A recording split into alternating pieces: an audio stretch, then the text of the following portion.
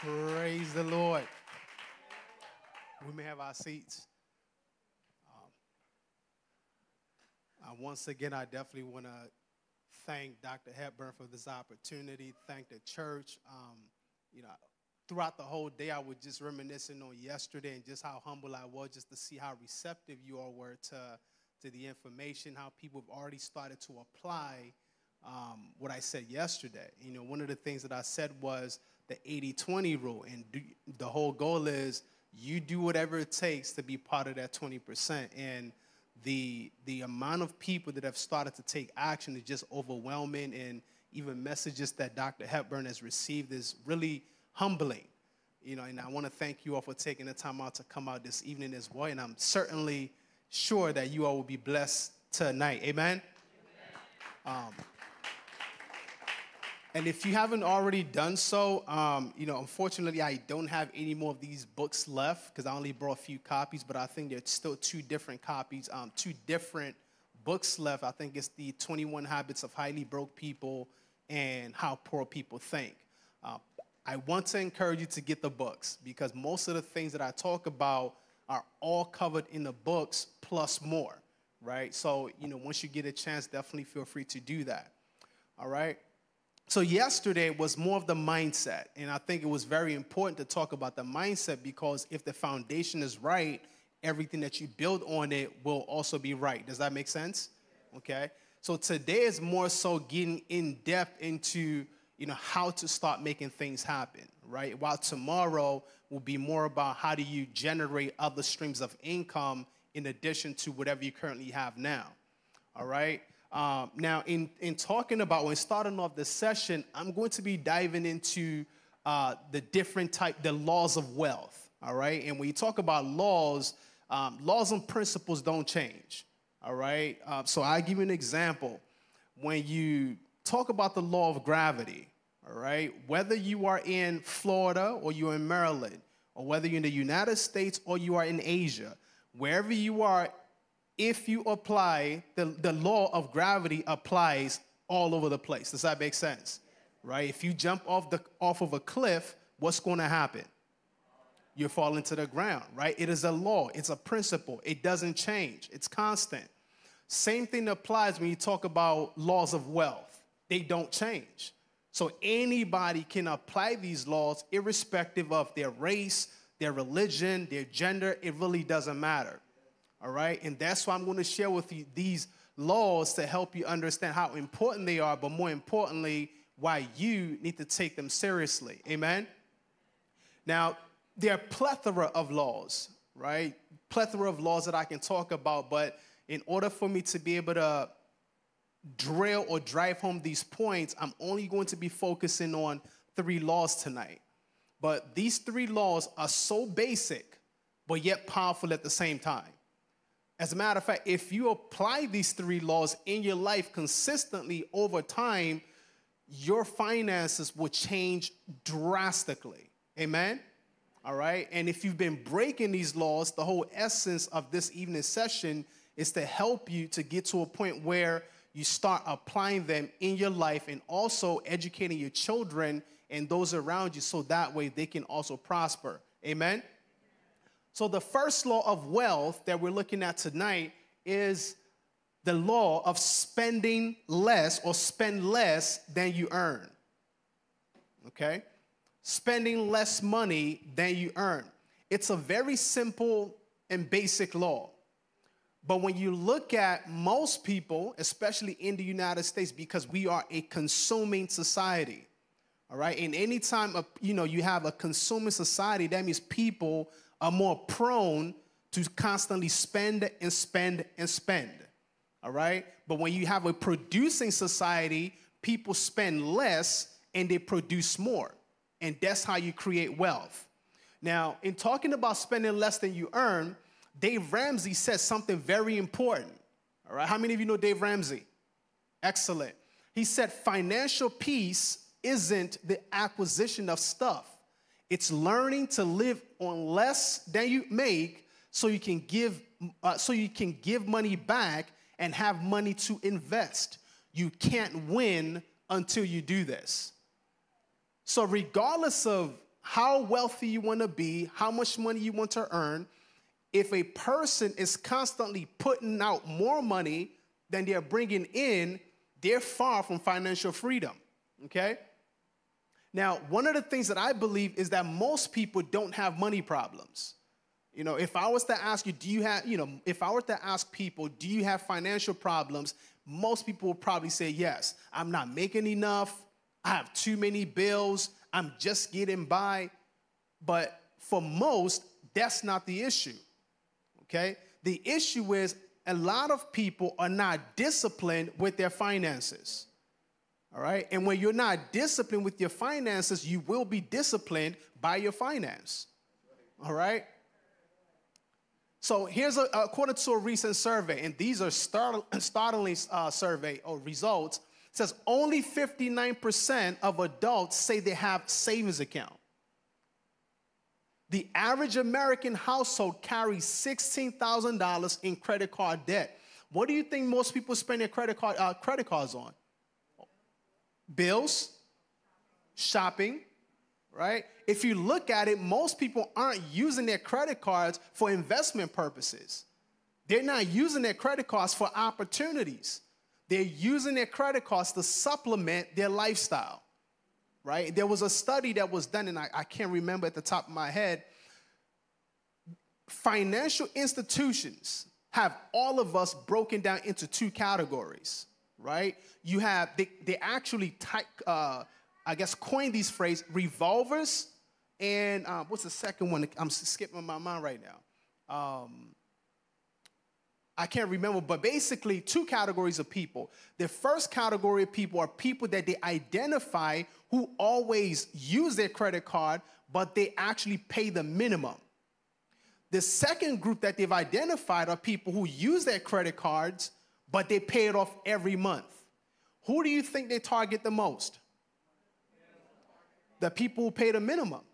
The reason is because once they hook you on paying on that credit card, they know that you will always pay the minimum, and the longer the longer you stretch it out, the more likely you are to pay interest, probably three times more than what the what, uh, what your debt is. It's a study. This is it's already proven. Okay, so if you're constantly in a situation where you're you're using credit card, you're paying the minimum they, they got you exactly where they want you. And here's, here's how they even hook you more. Once they give you a credit limit of, say, $2,000, and they notice you're consistent with the minimum payment, what do you think they'll do next? They increase it. Because they know that the more, uh, the more uh, uh, access you have, the more you'll do what? The more you spend. So people are constantly falling into these traps. That's how they get college student. So an average college student will graduate with credit card debt they will never ever pay off in their lifetime. Right? Because of the word discipline. And I, you know, I think I was talking to Deacon JB on our way up here. I said, you know, it's not that credit card is bad, but people who are not disciplined financially should not be using credit cards. If you can't afford to get a credit card, use it and then pay it off within 30 days you're not in the category of people that should be using credit cards. Amen? It says 44% said they could not cover an unexpected expense of $400. And here's what's baffling the most most people have spent at minimum five years working, some 10 years, some 20 years, some 30 years. But they cannot put their hands on a thousand dollars. Am I making sense? Right? And I want you to think deep about that. That if most people can spend all this time working, but there's nothing to show for it, then what exactly have they been spending their money on? All right, and this is very bad. This is very bad. And then it says nearly half of adult Americans are currently living paycheck to paycheck. You know, the whole essence of this seminar or this presentation is to get us to a point where we don't fall into any of these categories right you may you may be in here because you didn't know but now that we know and i'm going to be sharing with you steps that you can take to become financially free And if you take them, you're going to see the results that you desire. But I want to share, I just wanted to show this so you know where most Americans fall. And the single factor that kind of puts people in here is that word discipline. Amen? All right. So, um, another f- uh, important point is that you can never be financially free if you spend more than you earn or you are entangled in debt. All right? To me, debt is a demon.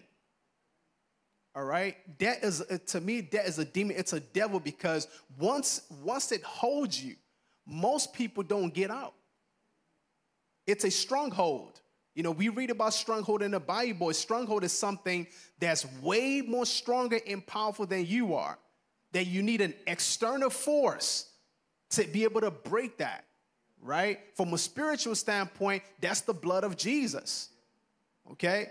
Now, the blood of Jesus works in all things, but the blood of Jesus is not going to get you debt free, right? Because you got yourself into debt based on your habits and your financial disciplines, right? But the Bible gives us principles that we can apply to help us become debt free, all right? So, of course, I said this yesterday Proverbs 22, verse 7 that the rich rules over the poor and the borrower is a slave to the lender. Now, we might think, you know, lender is maybe, I, you know, I ask you to borrow me a few dollars, you borrow me some money, then, you know, I'm your slave, quote unquote. But when you look at the word lender, it could be anything. Your car note, whoever you're paying your car note to, that is a lender. Whoever you're paying your mortgage to, that is a lender. All right? Whoever you're paying anything to, that is a lender. Now, I'm not saying that all debts are bad, but I'm just saying that your goal is to be debt free. Right? There is nothing like waking up every day and you choosing whether or not you're going to go to work today. There's nothing better than waking up every day knowing that you don't owe any man anything except love. Right?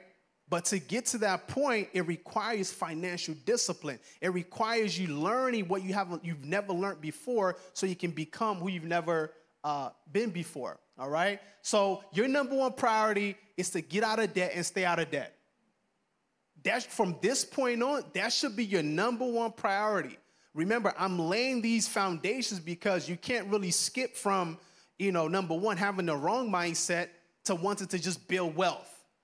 And you can't skip from having the wrong mindset to, you know, being in debt and they say you want to build wealth.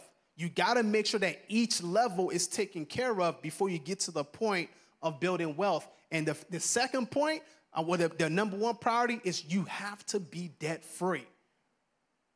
All right? You have to be debt free. You cannot build wealth if you are in debt. You cannot have financial peace if you are in debt. You cannot truly serve God the way you want to if you are in debt. All right?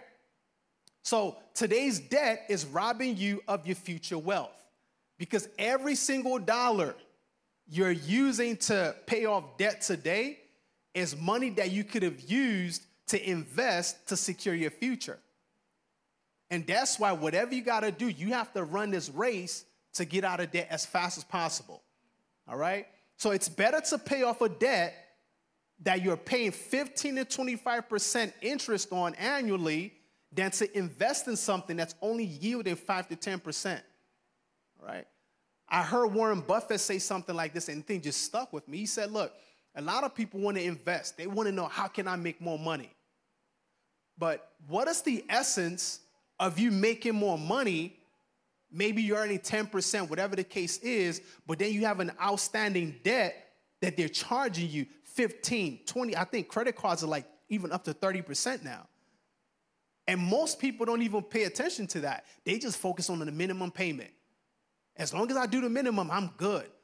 But minimum is keeping you at a, at a place that you don't want to be, right? If you look at all the interest that you've probably paid on your credit cards, interest you've probably paid on other loans and things like that, you'll be amazed as to how much money you're throwing away. All right? And that is why I emphasize to people that look, instead of, you know, it's okay to want to be wealthy, but you cannot skip being debt free. There's certain debts you might have for a longer period of time, maybe like your mortgage, okay? Maybe sometimes your car note. But outside of those two things, credit card is a demon that you have to release yourself from. Amen? Amen. Everybody feeling me so far? Yes. Say deep where I feel you. I love it. All right. So gain control over your money, and the way to do this is to track your expenses for the next 30 days. So this is my second assignment to you. All right? For the next 30 days, well, let me let me backtrack for a second. Raise your hand if you know exactly how much money you bring in every month. All right? About 90% of the people, okay? Now, raise your hand if you know exactly how much you're spending and what you're spending your money on. All right? Not so much hands. We know how much is coming in. Some of us may know how much we're spending, but you may not know what exactly you're spending your money on. And that's where the dangerous part is. So, one of the things that I teach people is on your journey to actually building wealth, you got to be able to track what you're doing, what you're doing with your money. Because if you don't know where your money is going, then you, the chances are you're probably wasting money on things that are, uh, are wants versus needs. All right? So, in the next 30 days, here's my assignment to you. I want you to write down, or even there are apps that you can use for this. Okay? Starting from tonight, I want you to write down everything that you spend money on, even if it's a penny. Do you know what will happen in 30 days if you do that? Anybody? You spend less. Yep. Why? You're aware of what you're spending money on, and then what else?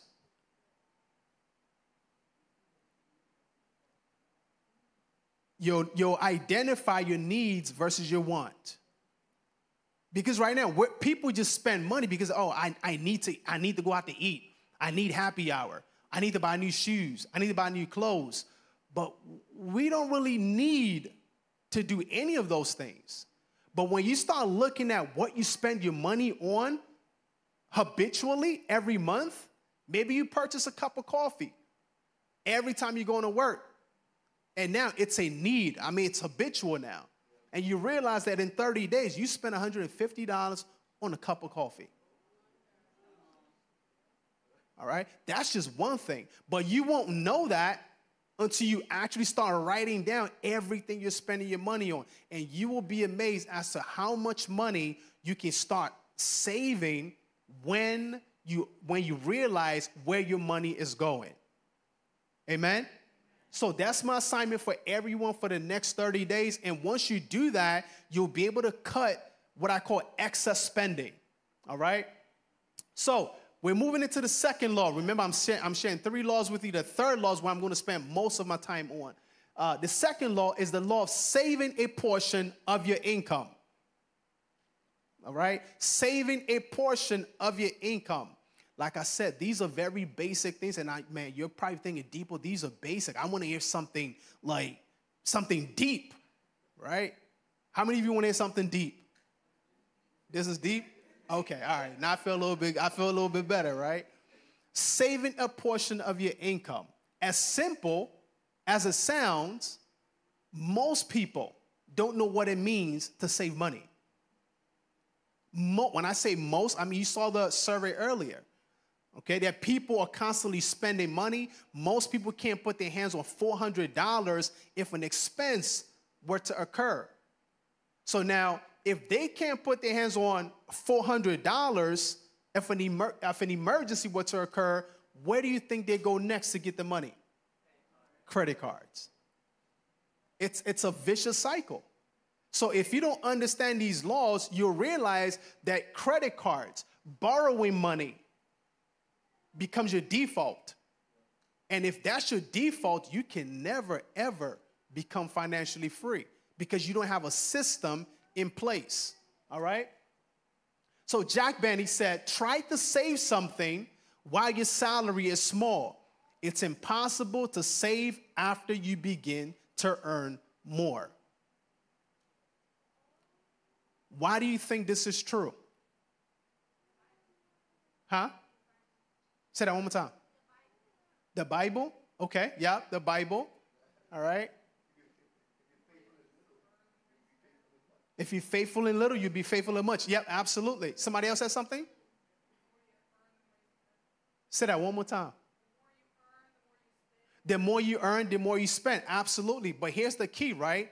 If you cannot cultivate the habit of saving $10 when you're earning $100, you're not going to save 100 when you're earning 1000 If you cannot cultivate the habit of saving a thousand, uh, uh, uh, thousand dollars when you're earning a hundred thousand, or whatever the case is, there is no way when you start earning more money, you start saving. It's a habit. These are principles. These are laws. So whatever amount of money you're making right now, I don't care what it is. If you're earning $10,000 a year, you should be able to save 50 cents. Because we're not after how much money you're saving. What are we after? the habit, the mentality. Because here's what happens when you start to save and you notice that, look, you have something that's growing somewhere, subconsciously, you want to find more ways to make sure that thing continues to grow. So, the excuse that people often give me is that I'm not making enough money. I don't, I don't really buy that from anybody. Because I tell you, look, regardless of what you're making, start saving a dollar. Can you, can you do that? Right? If you're if you're hoping that after I pay my bills, I'll be able to save, you will never in your life be able to save. Because bills are not going anywhere. Bills are not going anywhere. It will always be with us. It will always be amongst us. Okay? But your goal is to make sure that you prioritize your savings. Okay? And here's my, uh, my second point. If you can't afford to save, reduce your liabilities or and get out of debt. And this is where you're talking about tracking your expenses comes into play. Okay? Because most people often tell me, well, Dipo, I just don't, I'm just not making enough. But then when we look at the expenses, you can see little things, right? The Bible says that it's the little foxes that spoil the vineyards. You can see the little foxes that they're spending money on every day. I'm like, hey, what about this one? Oh, yeah, I don't really need that. Okay? If you can't save money, you don't need a cable in your house. What are you being entertained for? Right? You, you don't. Like, when I started my journey, when I made up my mind that I wanted to be rich and wealthy, I became extremely rugged. And that's why, like, being wealthy is not a child's play. It's not about praying and fasting and speak, speaking in tongues. Those are great spiritual exercises, but you're going to be broke if that's all you do. Right? When I wanted to become financially free, I remember, look, I, I remember getting rid of the internet in my house. I was that serious because my wife only used a cell phone. She doesn't use the computer. She was just always on her phone. I was at work most of the time, so I got to use the work computer. So I figured if I'm going to be using the internet, well, I, number one, I got my phone. Number two, I'm at work most of the time. I can use my work internet. So that was the kind of mindset that I had. Like, I, I wanted to be financially free. So when you want to be financially free, like, you cannot negotiate on things that you think you need versus things that you think you want. Right? I remember I read um, my first book that I, well, not my first, I read Dave Ramsey's book, um, Total Money Makeover just got out of college. So I'm talking about being rugged, rugged. So got out of college, got my first job, didn't really have any debt, no credit card debt, and I figured, man, I can afford a brand new car. That was a graduated from college 2008. Bought a Camry 2009 version, had two miles on it. I was paying $406 for the car note, 200 and something dollars for the insurance. And then one day I just picked up a uh, Dave Ramsey book. I was at work. I picked up the book and I couldn't put it down until the entire day. So I finished reading the entire book and I saw how important it was to be debt free. So I said, listen, number one, I'm paying 600 and something dollars for something that's depreciating every month. Every matter of fact, depreciating from the day I took it out of the lot. I drove the Camry back to Toyota dealership and I said, man, I want to return the car. Well, they said, well, you got to pay us $2,000 to return the car back. So I, I literally wrote out a check and I gave them $2,000 so that I can be debt free. Because I figured if I paid off the car, give back the car, I don't need to look fly. I wanted to be financially free. Right? So instantly, I started saving $650. Multiply 650 times 12 and subtract $2,000.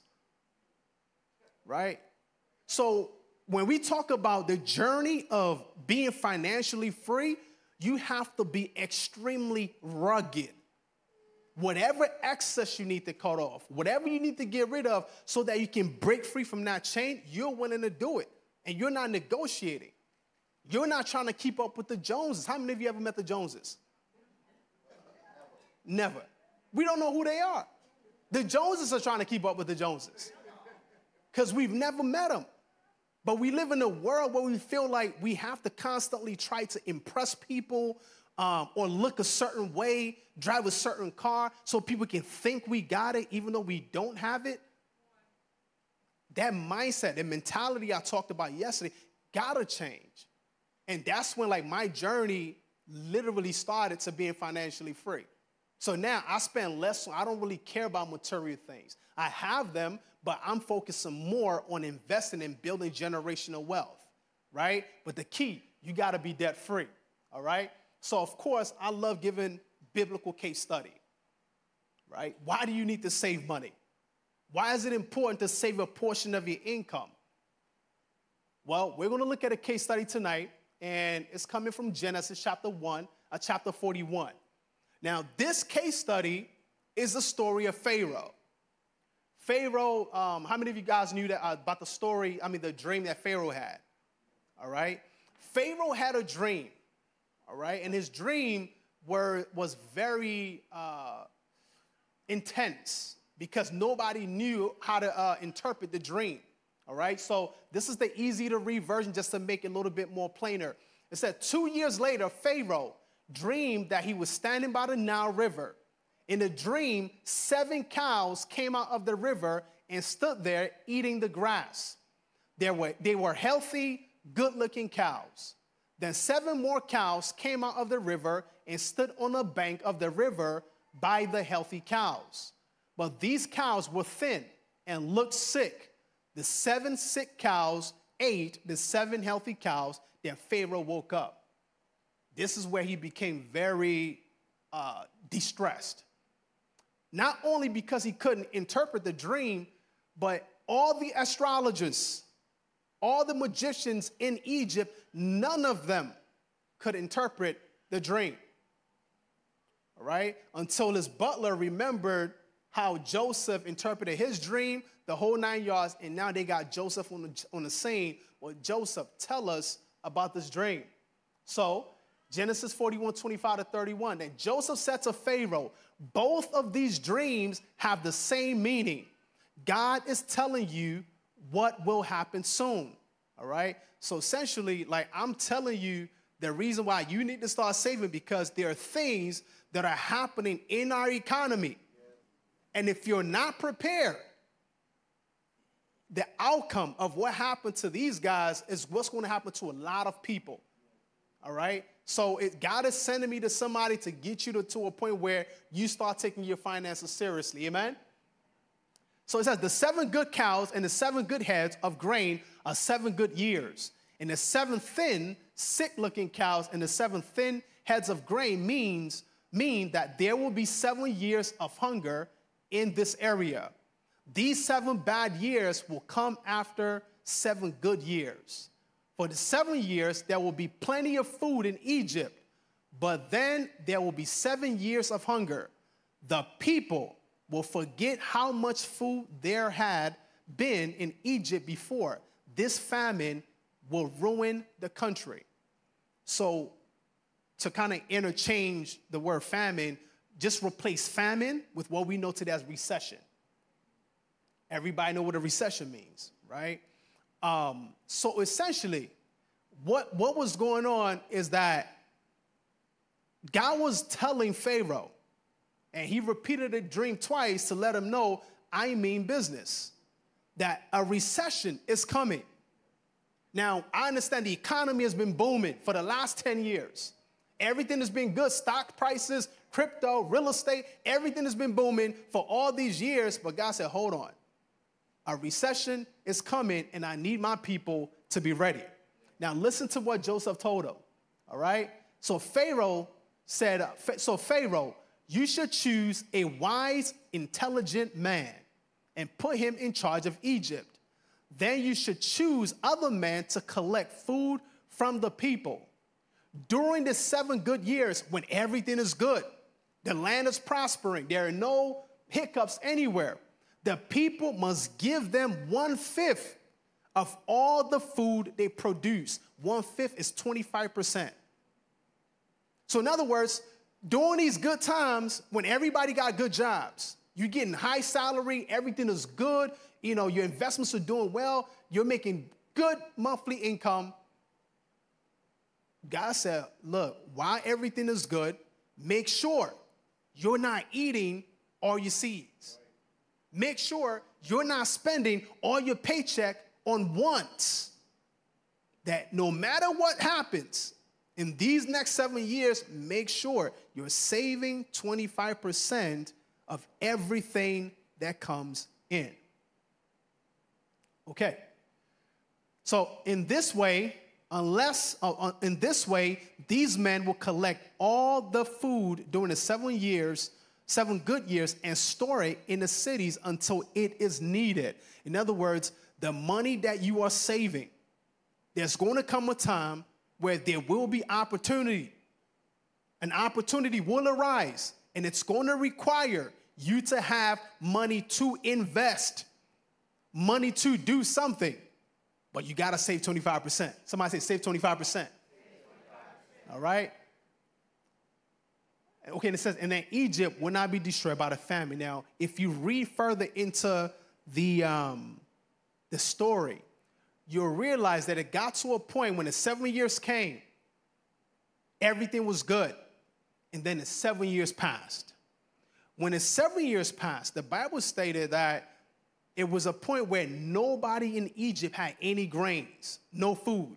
People from Canaan, they were all coming to Egypt to get food from Pharaoh. And here's what happened. This is, I think, to me, this is one of the biggest wealth transfer in the Old Testament. Not only did people spend all their money to get grain from Pharaoh, they sold their cattle. Not only did they sold their cattle, they sold uh, their lands. Not only did they sell their lands, they sold themselves. Because to me, they were not really adequately prepared for the seven years of famine. So, my question to you today is all right, everything is good. I don't know how much you're earning, I don't know what your income looks like, but if a recession were to take place today, are you ready? Is your bank account ready? So, in other words, what you do with your income now or what you're doing with your money right now will determine how well you'll be able to stand when turmoil comes. Because believe me, I'm gonna tell you right, because this is what I do. The United States is not in a good place right now, globally, financially, right? They're, they're tugging now trying to raise the debt ceiling. And if you know what that means, that means we've already spent all the money that we're supposed to, and we, we've really reached the ceiling. So now you gotta open up the ceiling so I can get through because I need to go in more debt as a nation. So we have to be, so for me, I tell people that my economy is not based on like what's going on in the United States, right? Your economy shouldn't be either. But for it to be that, for it to be that way, you need to make sure that financially you're prepared. And you cannot afford at this critical time to just use your money anyhow, waste your resources on wants versus needs. Amen. Everybody getting it? Awesome. All right? So, on the journey of understanding this law of saving a portion of your income, here's my belief you pay yourself first and you pay your bill last. Somebody say, pay yourself first, pay, yourself first. pay your bills last. Now, the first time I did a video on this and I put on social media, went viral, and I started getting backslash. Everybody started attacking me. And everybody that attacked me, I, when I look at that page, I was like, well, I don't need to argue with this person because they, they will never get it. All right? And most people probably won't get it. Because people will rationalize, well, if I don't pay my bills, they're going to kick me out of the house. If I don't pay my bills, they're going to cut my phone off. Well, let me ask you a question. Raise your hand if you work a job, you have a source of income. All right? Um, raise your hand if you know how much taxes they take out of your paycheck. All right? All right? Um, raise your hand if you depend on the taxes they take out of your paycheck or what's left. Let me say that again for those who got their hands up. Raise your hand if you depend, so let's say you make $1,000 and the government takes 250. I want you to raise your hand if you depend on the 250 they take out or the 750 that's left. Which one? What's left? So that tells me that if the government can go into your paycheck before you touch it and you don't complain, right?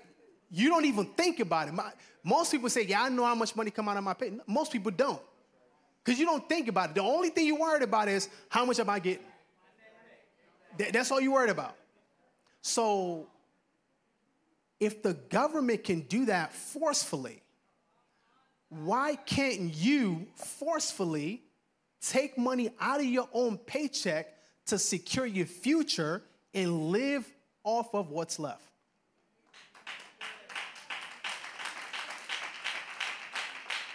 Right? Now, for, this will debunk anybody that says, I'm not making enough money because you're not making enough, but the government still takes their cut.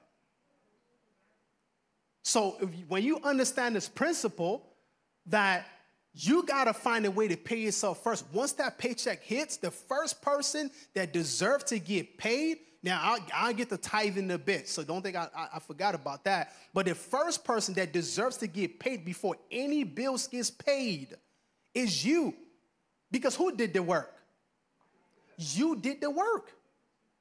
So most people spend all their lives running and trying to catch up to paying bills and paying bills, and they forget that, listen, in order for me to secure my future, I gotta put things in place irrespective of bills that I have.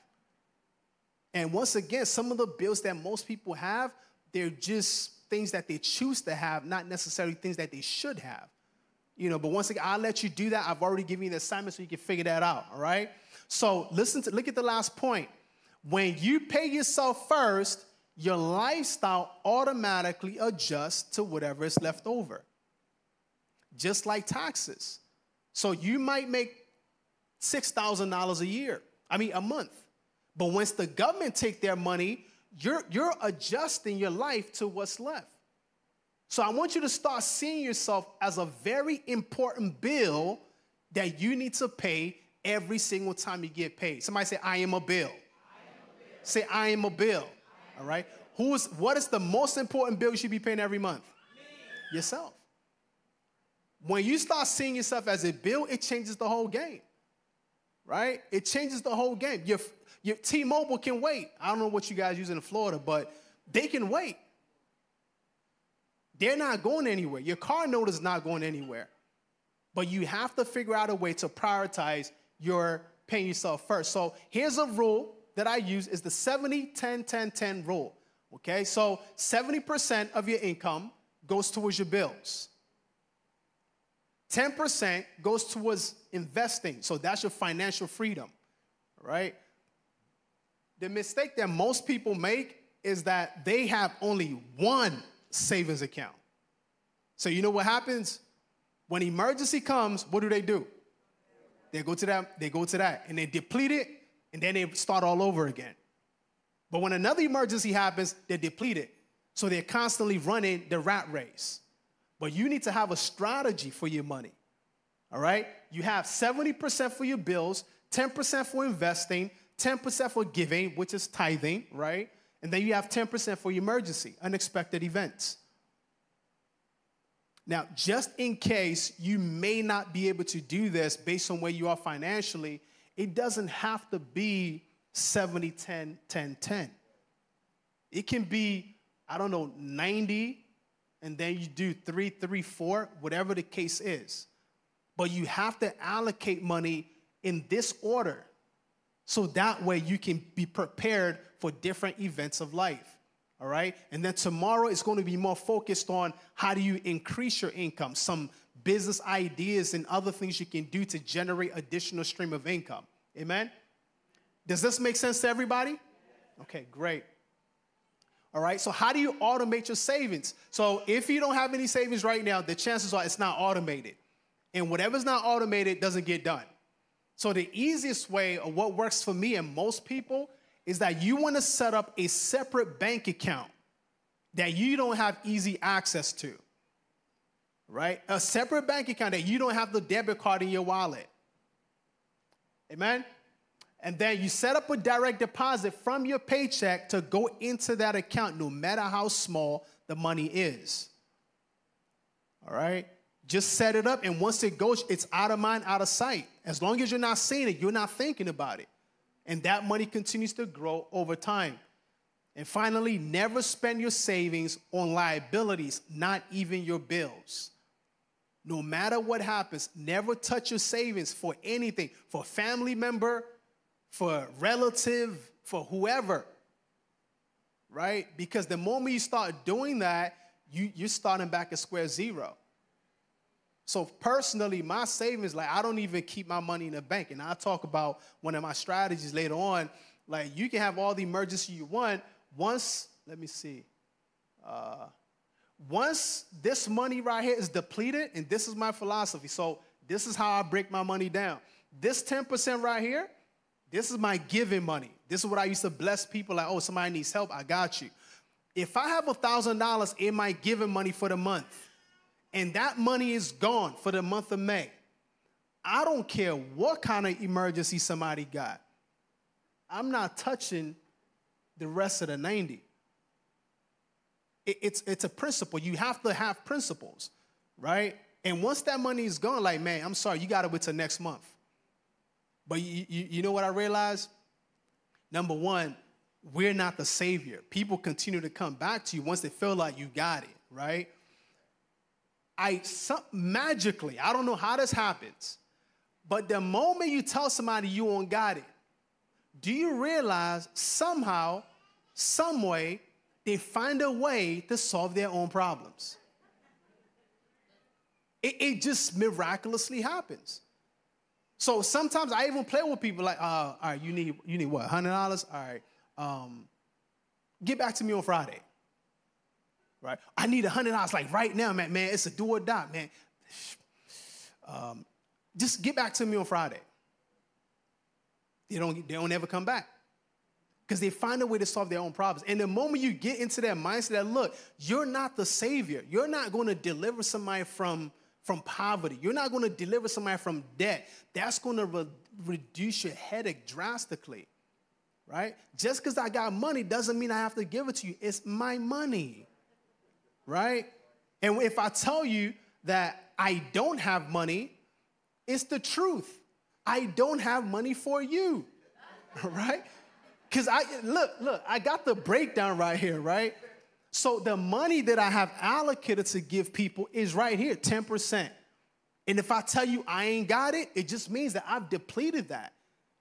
The rest of the 90, that's that's none of your business right? It's none of your business. So you got to have structure in your money so that way you don't feel obligated to help everybody. Amen? Okay. So here's some just basic ways you can leverage your money. Like I said, I don't keep money in a bank except for transactional purposes, right? I understand the banking system, I, and I'm going to show you a few things um, in a couple, a couple of minutes here. As much as possible, don't leave like lump sum of money just chilling in a bank. Believe me when I tell you, right? So here just basic or different avenues or different places that you can use to actually earn better APY on your money versus leaving it inside of a bank. And you have equal and easier, easy access just the same way you would in your bank. Right? This, the Apple cards, right? They actually just launched it, I think, maybe a month ago where if you have an Apple, uh, I think it's one of their credit cards, you can actually use it as a savings account and transfer your money there. You're earning 4.5%, 4.15% APY on your money versus leaving the same money in your bank and you're not earning anything. Right? And that's why a lot of banks are folding up because people are starting to see that number one, the banking system is not designed for us to succeed. Right? It's not designed for customers. It's, the, it's designed for them to make money. They're not in business so that we can become wealthy. All banks, they are in business so that they can actually make a profit, right? And I'm going to show you that in a second. So please make sure you check these out. Um, I've tried two of them. So Apple cards, um, I just got their card in the mail maybe like uh, three weeks ago. And then Credit Karma, that's what I use to check my credit score. All right, so anytime there's a change on my credit report, I look at it and then I noticed like two weeks ago that they're also offering 4.1% APY on your money. So I just wanted to test it out and I just moved $100 in there just to set it up because I like to test things, right? So please make sure you take advantage of these things. These are, these are avenues that you can get money out of your sight because it's not in your bank account. And if it's not in your bank account, you're not going to easily spend it. Okay. Everybody got this? Okay. All right. So the third law, all right, and this is where I'm going to spend the rest of the night on, is the law of investing a portion of your income. All right. Investing a portion of your income. So everything that I've talked about yesterday, the first law spending less than you earn, the second law, saving a portion of your income, all leads to this one point.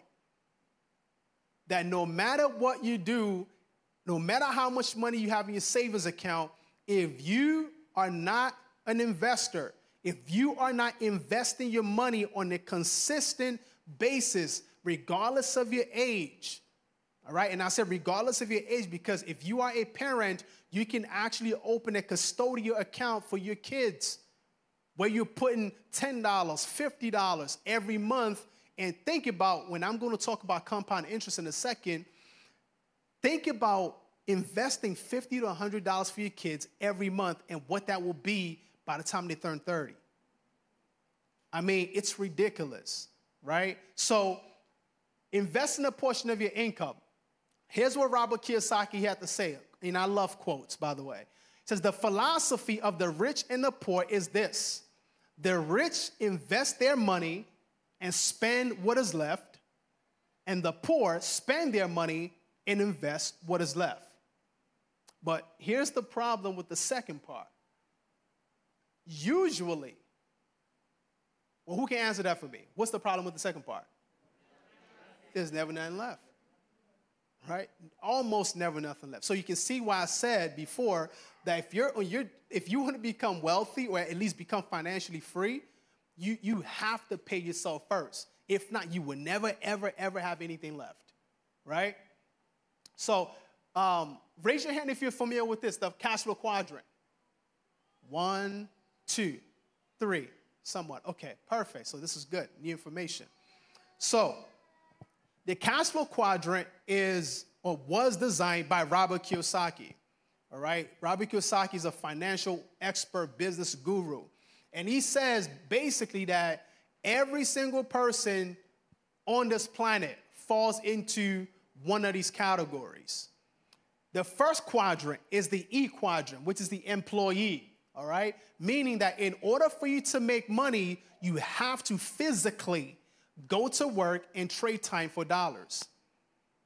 So if you don't show up to work, you don't make any money. It doesn't matter if you're a six figure earner, you're making $1,000, you're making $100,000 a year, a million dollars a year. If you don't go in from nine to five, you are not going to get paid. that is not the quadrant that most people who want to create wealth should be in. All right, that is the E quadrant, the employee quadrant. The second quadrant is self employed quadrant, the S quadrant.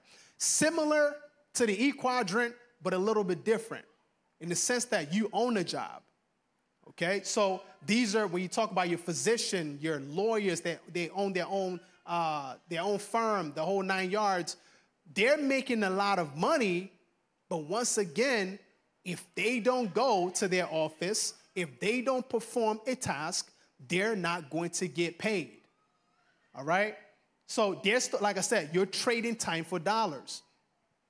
The third quadrant is the B quadrant, which is the business owner. So in other words, you own a system and people work for you. So his whole philosophy or goal is if you want to be wealthy, you have to move from the this, is my left. This is, my left or right? All right, this is my right. You have to move from the right quadrant to the left quadrant. I told you I'm not that smart, right? You have to move to the left quadrant, which is the business owner. So your system is making money for you. You're making money in your sleep. So you've done something, you've set up something where, irrespective of whether you're there or not, money still comes in. And I'm going to be sharing some of those ideas with you tomorrow. So he said that's where you want to be in. And then the last quadrant is the I quadrant, the investor quadrant, which basically states that your money works for you, passive income. Now, here's what is very interesting. Most people will think that you need to go from the E to the S, from the S to the B, from the B to the I, but that's not true. Every single person that has a source of income can move directly from the E quadrant straight into the I quadrant. Why is that possible? What's the only requirement to do that? Income. You just need money. Anybody can become an investor. Anybody can start investing money into something provided that they have a source of income. And that is why I'm very confident that anybody can become wealthy. Right? But in order to get to this point, that goes back to the two things that we talked about spending less than you earn, saving a portion of your income so you can get into this quadrant. Make sense so far? Okay, great. All right. So you are either investing in liabilities or assets. So every time we earn any type of income, the money is going into two different buckets. All right? We looked at similar tree yesterday. You're either investing in liabilities or you're investing in assets. Liabilities, liabilities, what does that look like? You know, constantly getting a new car, right? You, you, you love buying cars. I'm not saying there's not anything wrong with it, but I'm just telling you that anything that's not putting money into your pocket is a liability. All right? Clothes, shoes, material things, house. Now, this is also a big one because most people believe that their house is what? An asset. Is that true or is that false? Don't, don't, I mean, shoot out the answer. Right? Okay. False? Okay, some people, so it's 50 50, right? So here, here's what we need to fully understand what is an asset? something that puts money into your pocket. If you have a mortgage, is it putting money into your pocket or taking money out of your pocket? Out of your pocket. Okay. Now, if you have a house and you rent out your basement, or you guys don't have basements here in Florida, or you rent out maybe a couple of rooms or whatever the case is, and you use that money to pay off your, to pay your mortgage, is the house an asset? Absolutely. Right? Now, a lot of people fight and argue about this, and I'm not here to debate. I'm just letting you know that the basis of considering something an asset is that it has to be something that puts money into your pocket.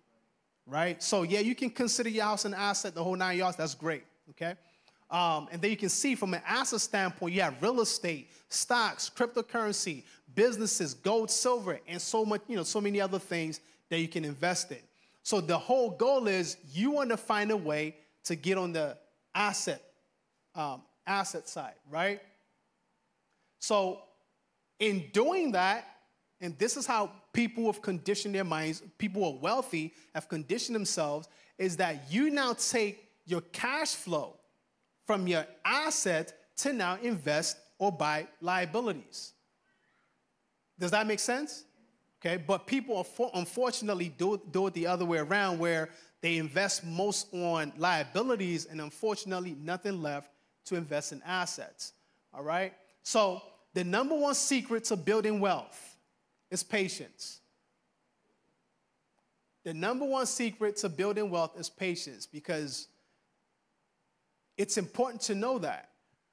Because most people, especially like young people, and we see it everywhere, everybody wants to get rich when? Now. They want to get rich quick. They want to invest today and make $2,000, you know, 2,000% profit and this whole nine yard and all this kind of good stuff. And young people get into things that they shouldn't be getting involved with because they want that quick money. But one of the things that I respect so much about like Warren Buffett is that the stocks that he bought in the 40s and in the 50s, he still owns them today. And that's why he's one of the wealthiest people in the world. He owns a lot of companies today because he's been buying shares for over 40, 50 years ago. So if we're considering how do you become wealthy, we have to understand that look, number one, wealth building takes time. And the younger you are, the more likely you are able to build wealth faster because time is on your side. Now, the older you are, the more aggressive you need to become because time is not so much on your side. Does that make sense? Okay. So, Warren Buffett, of course, he says the stock market is a device for transferring money from the impatient to the patient. Because what do you think happens when, when somebody wants to get rich quick? They purchase a stock, all right? A stock starts going down. What do you think they do? They sell. But who you think is buying? Patient people. Because every time somebody sells, somebody needs to be buying. Somebody is always buying. And if you're the person who's always selling and panicking when things are going down, you're far from the, the wealth spectrum. All right? So here's the power of investing, just to kind of give you an idea of what's possible when you start investing early enough or when you're consistent with your uh, investment strategy. So, assuming somebody earns $60,000 a year and they set aside 10%, that's $500 a month for investing, and they start at 30 years old. Okay? In 30 years, meaning at the age of 60, if they consistently invested $500 every single month, by the age of 60, if they earn 8% average return over time, they have roughly about 745,000. If they earn 10% over time, that's 1.3 million. Now, you might see it as a long time to make that kind of money, but do you realize that as I'm talking to you today, an average person who's close to retirement cannot account for $150,000 that they can actually rely on at retirement. Because once again, most people think that, man, I don't have, man, I got all this time ahead of me. I'm still young. I got time. That's how people who are close to retirement was thinking. I got time. So if you don't start early, irrespective of your age, and start doing something today, time is going to catch up with you. Right? Time is going to catch up with you. So I just wanted to show this to help you understand that little things done consistently over time will produce result.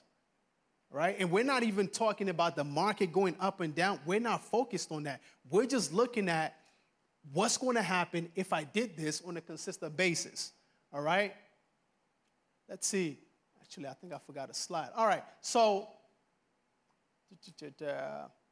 so for the rest of the time, we're going to look at about three different investment or wealth building strategies, which you already know, but I'm going to cover them again. So, number one is stocks, all right? So, why should you invest in stocks? Number one, you know, it's one of the greatest tools ever invented for building wealth.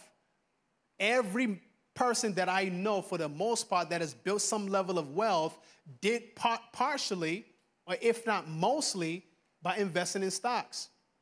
Okay? Um, you cannot work 24 7, but your money can. All right? And when you invest in stocks, what exactly does it mean to invest in stocks? You're buying a share of a company. What does it mean when you buy a share of a company? You own a piece of the company. I heard Warren Buffett say this a couple of days ago. He said, I don't buy stocks, I buy companies. It's a different mindset. Most people, oh, yeah, I, want, I, I got this stock. No, no, no. I own a piece of that company. Even if you own one share, you own a piece of that company. So when you have that type of wealth mindset, you're not concerned about the fluctuation of the market. You are a business owner, right? If your business is not doing well, do you run off to sell the business? Yes, no? Nah. You do whatever it takes to build the business, to make sure things work. So when you invest in the right companies, they might go through challenges just like anybody's business would. But when you have a long term vision, then you're not really moved by what's happening on a day to day basis.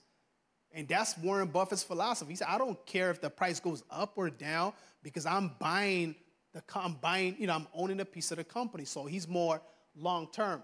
All right? And then of course compound interest. Raise your hand if you know how compound interest works. All right. How does it work, sir?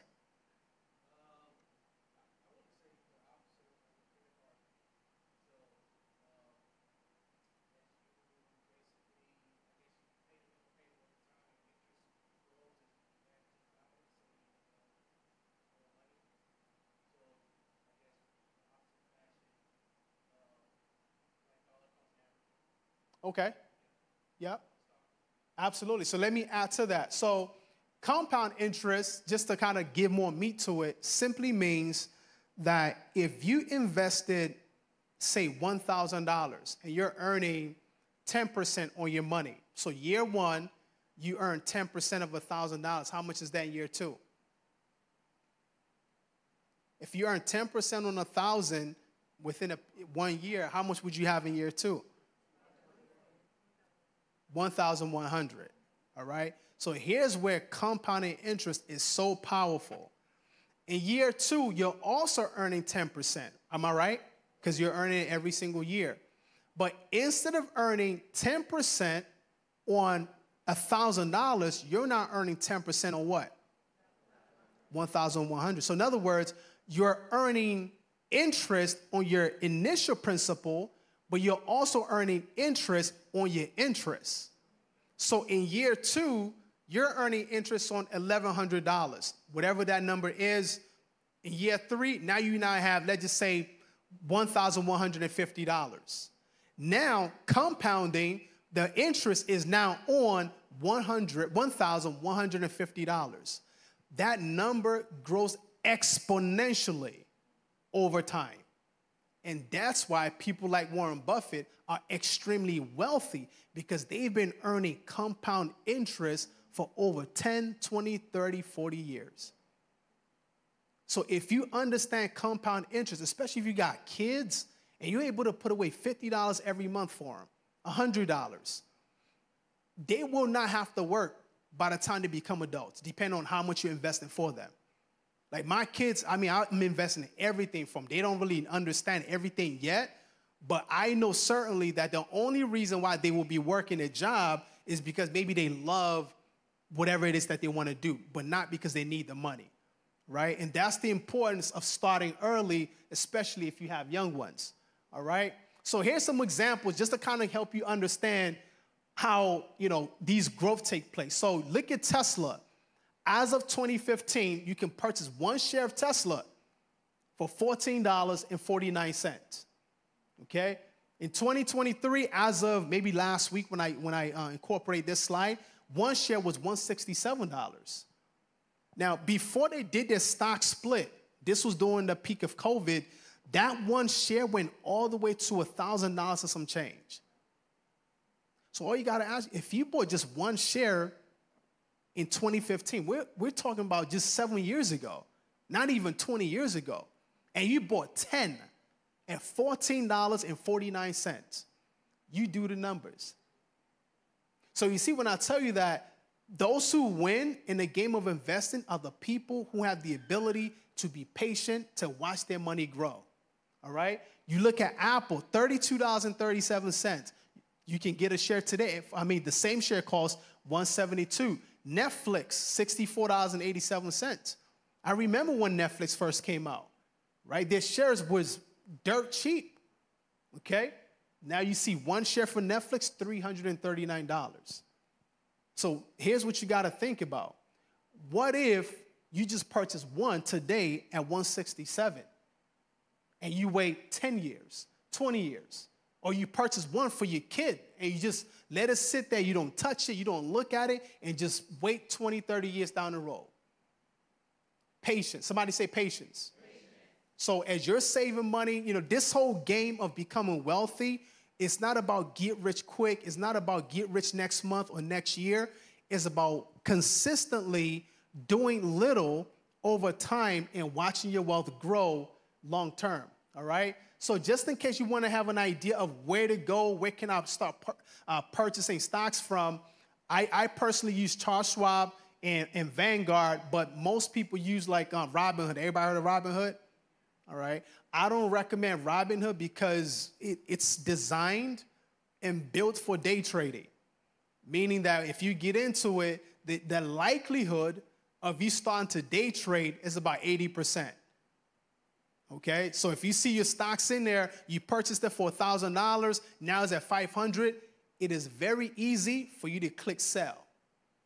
Right? Now you see it going back up. Oh, now we're back to 700. Man, I shouldn't have got out. Very easy to click buy.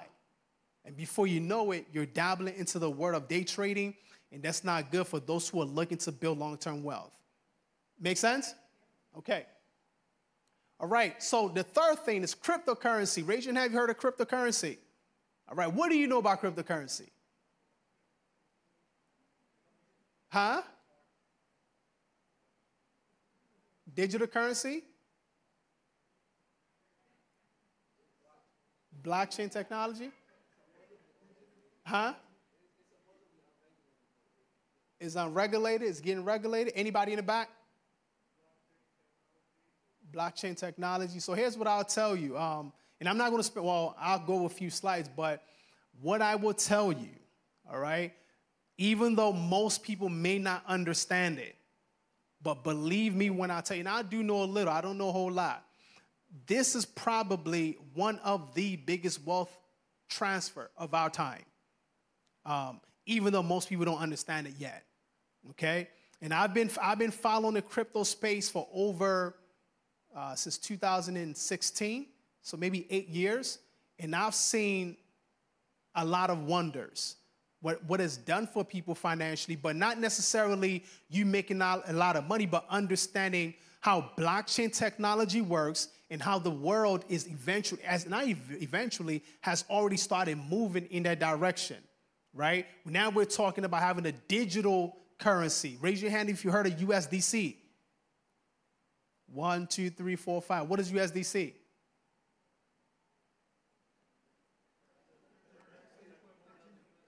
Equivalent of the US dollar, right? So everything eventually is going to be digital. So when you understand that, you want to be ahead of the curve before everybody gets into it, all right? So, like most people have said, what is cryptocurrency, aka crypto? It's simply digital money that can be used as a medium of exchange, okay? Uh, so, what do you need to know about crypto? Number one, it is spendable. Right? Most people don't know that. For example, if you own Bitcoin, you can actually use Bitcoin to trade and make purchases in different parts of the world. All right? It is an asset. Institutional investors are now investing in it. All right? It's highly volatile, which most people are familiar with, meaning that you can put money into it, and let's say you put $100 in, tomorrow you can wake up, your $100 is $10 all right? You can also wake up your $100 is $200. But when you look at it from a long term standpoint, you start to understand why patience is the key factor to building wealth. And I'll show you in one second. All right? And it can produce, produce massive gains in short, long period of time or long period of time.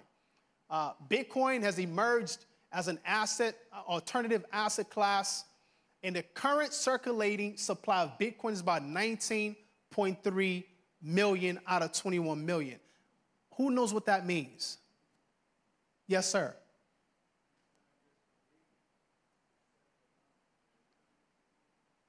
Perfect. I mean, I, I don't think I could have said it better. Now, let me break it down so you can understand. If you understand the law of supply and demand, all right, and you know that there's a fixed amount of something, and everybody wants a piece of that something, what do you think will happen to that something? The price is going to be astronomical. Now, on the flip side, when we look at the dollar currency, all right? Do, well, do you know that with just punching a few buttons, the United States government can print $1 trillion if they wanted to in one day? Supply and demand. Now, if you were me, would you prefer to have to be holding something where they can print unlimited supply anytime they want? and the value of it is going down? Or would you prefer to put your money into assets, not necessarily just crypto, that you know that the value will continue to appreciate? Which one? The second one. And that's what's happening to the dollar. Right now, the rate at which the dollar is losing its value, it's, it's growing rapidly fast. Meaning that whatever you could purchase a dollar within March, in January, you can't get purchase the same thing with the same dollar in May. And you don't want to be holding a fiat currency. That's what paper money is. All right, fiat. And because anytime you can produce unlimited supply of something, the value must go down. All right? And that's why most people who are putting money into things like Bitcoin, cryptocurrency, is because they understand that there is a fixed amount of these digital assets. All right? It has become accepted uh, by mainstream media, serves as a hedge against inflation, and some companies are now using uh, coins like Bitcoin as part of their capital management strategy. All right?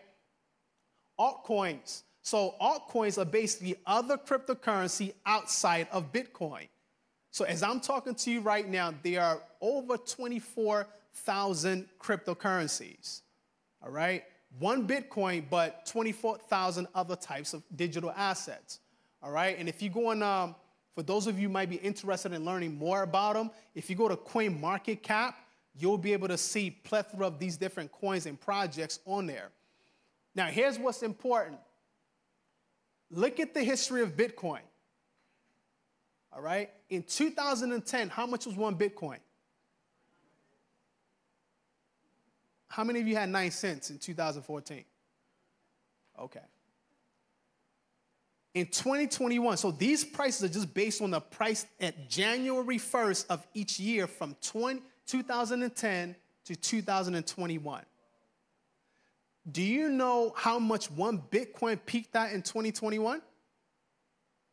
Somebody take a guess. Huh? $70,000 for one coin. All you needed was a dime in 2010 just to get one. Patience, time, and information, and knowledge. Right? I had a friend in my MBA program. She was telling me years later, she said, Dipo, when we were in the MBA program, I heard, I didn't know about Bitcoin at that time. Said, I knew about Bitcoin. It was like 10 cents, but I didn't get it. I thought this was garbage. Right? But once again, those who knew what it was back then, they bought thousands of them, thousands of Bitcoin, right? So I'm sharing that with you to, to help you understand that sometimes you may not necessarily understand something, but it doesn't mean that it's not real and it's not working. So I'm sharing this with you not to necessarily tell you, hey, go and buy Bitcoin, go and buy this coin, but I want you to be informed and start looking in that direction because I'm telling you, in the next coming year, so to kind of, I'm not sure if this slide is up here. Let me see. Okay, I think I hit the slide, but there is what we call a, a market cycle. All right? And a market cycle basically means that we have, you know, the down, the, the bear market, and then we have the bull market. During the bull market, everybody's happy because everybody's making money. The prices of everything is high. Your portfolio is looking good. But during the bear market, nobody's smiling because your investments are down. It's, it happens in real estate, happens in stocks, happens in crypto, in any asset base. All right? Now, unfortunately, a lot of people lose money during the peak of the, the uh, bull market because we get excited when the price of everything is going up. So, you know what happened in 2021 when Bitcoin was 70,000? A lot of people started hearing about Bitcoin. So everybody was excited and people started getting in at the peak of the market. But you know, you want to know what happened at the peak of the market? People who bought during a bear market, they started taking profit during the peak market. So if you bought Bitcoin at, say, I don't know, $10,000, for example, now Bitcoin hit 70,000. When everybody starts pulling out, what do you think will happen? The prices go down because now only those who are not knowledgeable are buying at the peak. So here's why you should be excited not just about cryptocurrency, but about the market as a whole. Where do you think we are right now? In a bear market. Nobody's buying and everybody's selling. So, my question to you is when do you think is the best time to buy? Now right? We're actually going to see lower and lower prices over the next couple of months because of what's going on in the economy. And that's why you need to make sure you are financially ready, just like Joseph and Pharaoh, to seize opportunities when they come. Because unfortunately, a lot of people will see it when it comes, but financially, they don't have it. So you can't be playing games right now, investing in things that are not producing any, you know, any income for you. You want to be getting your finances together, getting out of debt, saving money, looking for additional streams of income so you can build your financial capacity to seize opportunities when they rise. All right? And here's just a quick example, just a quick uh, comparison that if you bought Bitcoin in 2016, all right, at $430. Ethereum, which is the second cryptocurrency, $13. Right? Talking about knowledge, the only thing I knew in 2016 was Bitcoin. I was looking at Ethereum when it was $8. But I was like, I don't care about Ethereum. I only care about Bitcoin. Now watch this. Peaked at 70,000. Ethereum peaked at 4,000. That means in just five years, that's what happens in just five years. This is child's play compared to what's going to happen over the next 10 years, over the next 20 years. Because I'm telling you, blockchain is not going anywhere. Cryptocurrency is not going anywhere. All right? And these are just two out of over 24,000. But like, you know, like Dr. Hepburn said, you got to get the knowledge, you got to understand what they are, what are the right projects to invest in. You know, so as a rule of thumb, if you go to coinmarketcap.com, um, you'll see all the 24,000 lists of cryptocurrencies. And here's what I tell people: if you want to be on the safe side, stick to the one from one from the top one, the top 50. All right, because if you can make it to the top 50, out of 24,000, you're legit. Would you agree? Right? So instead of you kind of getting like confused, I don't know what to do, research the top 50, understand what the projects are about, right? And then, you know, if you decide to, you can um, put money into it. So who is investing in Bitcoin? Um, you know, people like Michael Saylor, you have Square, and of course you have Tesla and other institutional investors.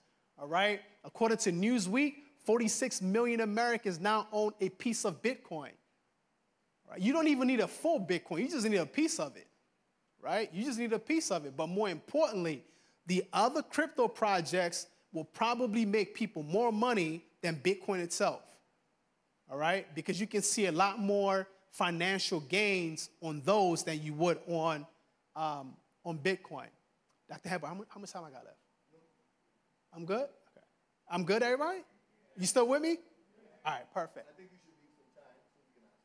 Sure, perfect. All right. So here's just some exchange. So he, these are the like the top exchanges if you are interested in learning where to get them from. So Coinbase is one of the largest in the world, same as Binance, and then the other three as well. Okay. All right. Uh, all right. So I would recommend just probably stick with Coinbase and Binance. Those are the two easiest because you can connect your, your bank uh, account and all that good stuff. And you can also, like I talked about automation, you, if you want to do like $10, $20 and just kind of set it up on automation and forget it, you can do that as well um, on either one of these platforms. We're good? All right. All right, so how to buy, research what you're buying, invest periodically, and think long term. Because, like I said, they are volatile, it goes up and it goes down, but if you're anything like me, we're not concerned about today. We're patient and looking at the, the potential value in the future. All right? So, the, the last thing I'm going to be talking tonight is life insurance as a wealth building strategy. Raise your hand if you know anything about life insurance. All right. What do you know about life insurance?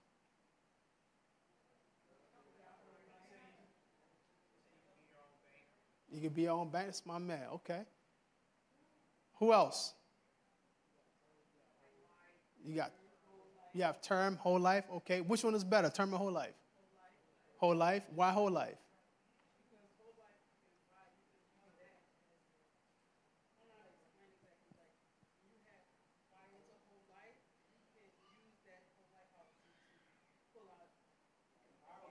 You can borrow against it. Man, they sharp, Pastor Hepburn.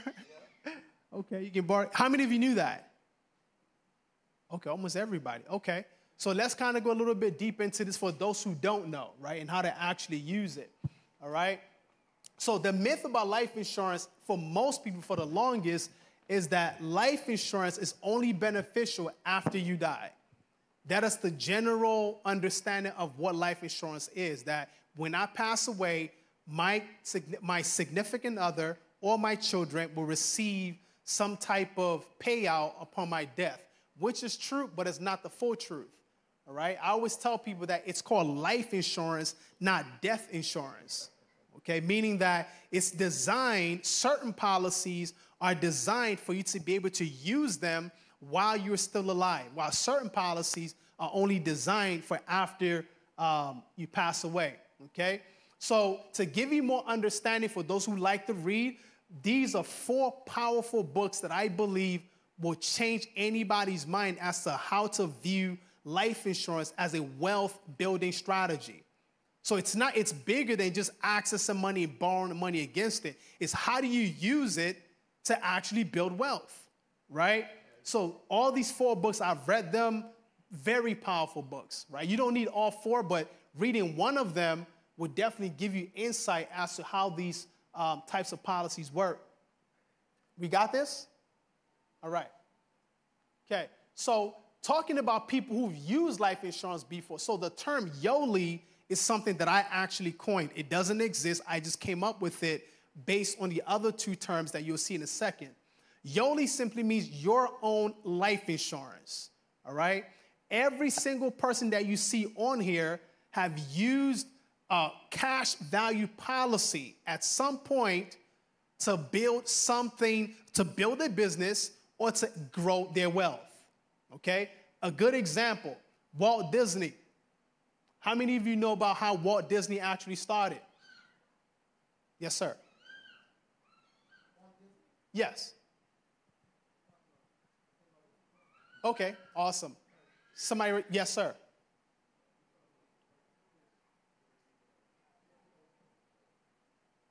Yep. The whole, not, well, yeah, the cartoon, but the, just building the empire. How did he get the capital? Well, yeah, of course, because yeah, it's on there, right? that was a that was a that was a not so smart question, right? So essentially, for those of you who read maybe read about him, you understand that when he was looking to start out Disney as we know today, no financial institution believed in his dream. None would actually extend a hand of loan to him to help him start what we know as Disneyland today.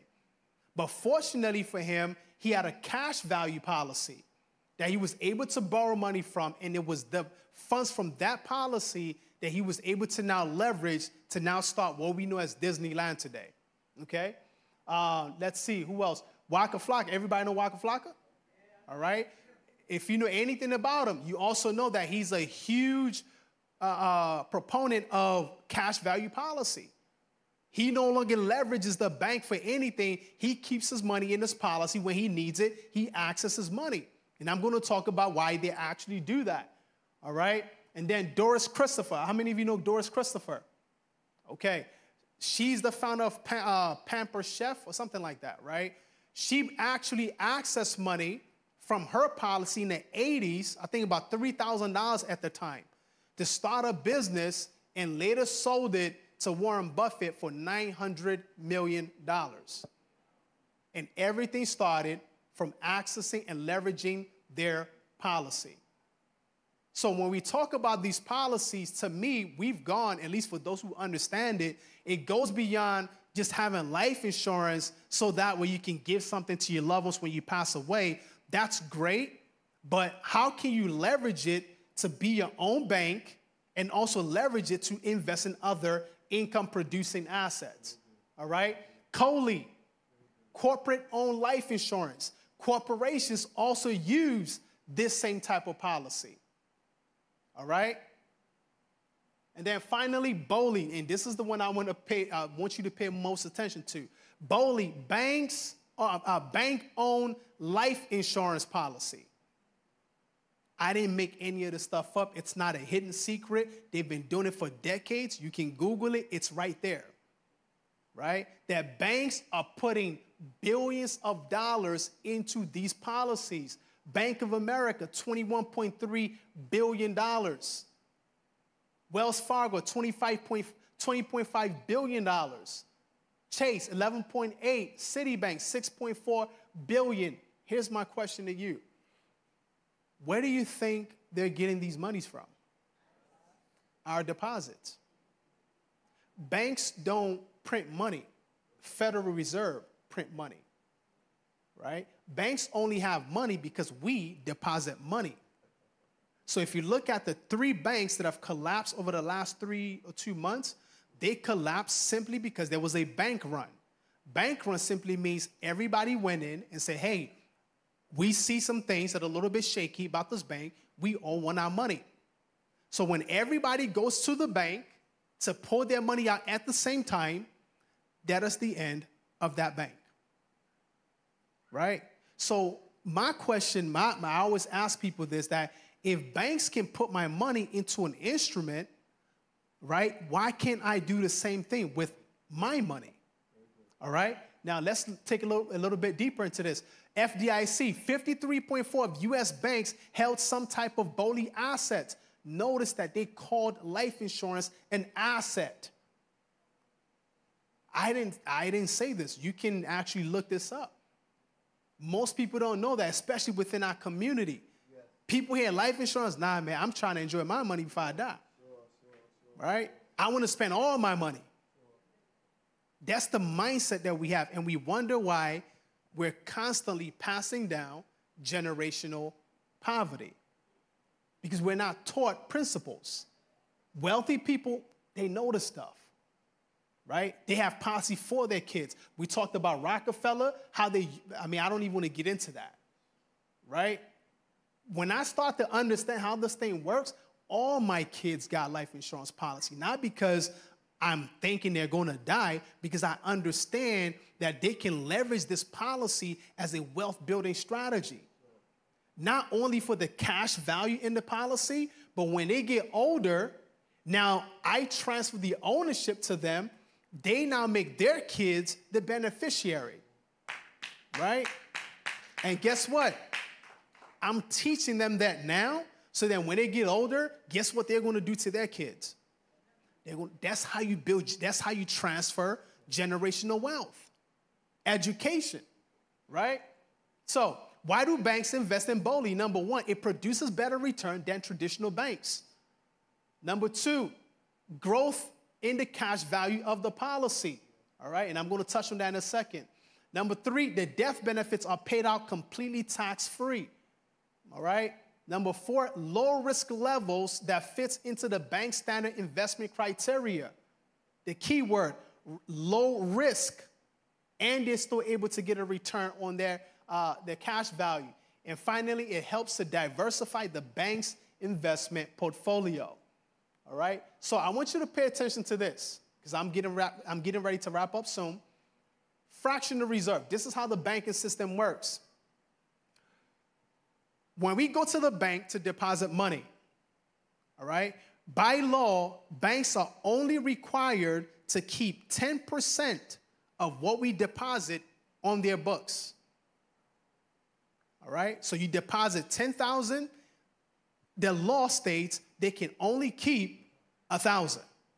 The rest of the 9,000 got to go out into something.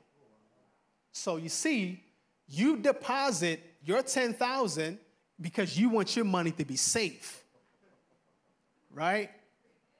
The banks, and I don't know if you see this, I see sometimes you might get like every like a dividend, maybe like 10 cents or 5 cents on your money. And I just laugh, right?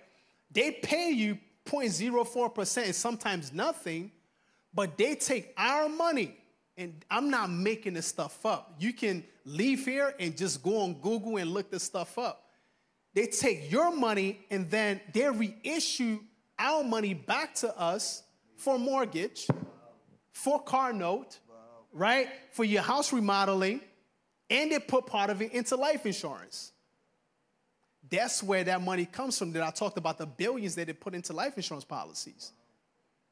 So essentially, banks take our collective dollars and they redistribute it to earn a profit but they don't pay us anything back.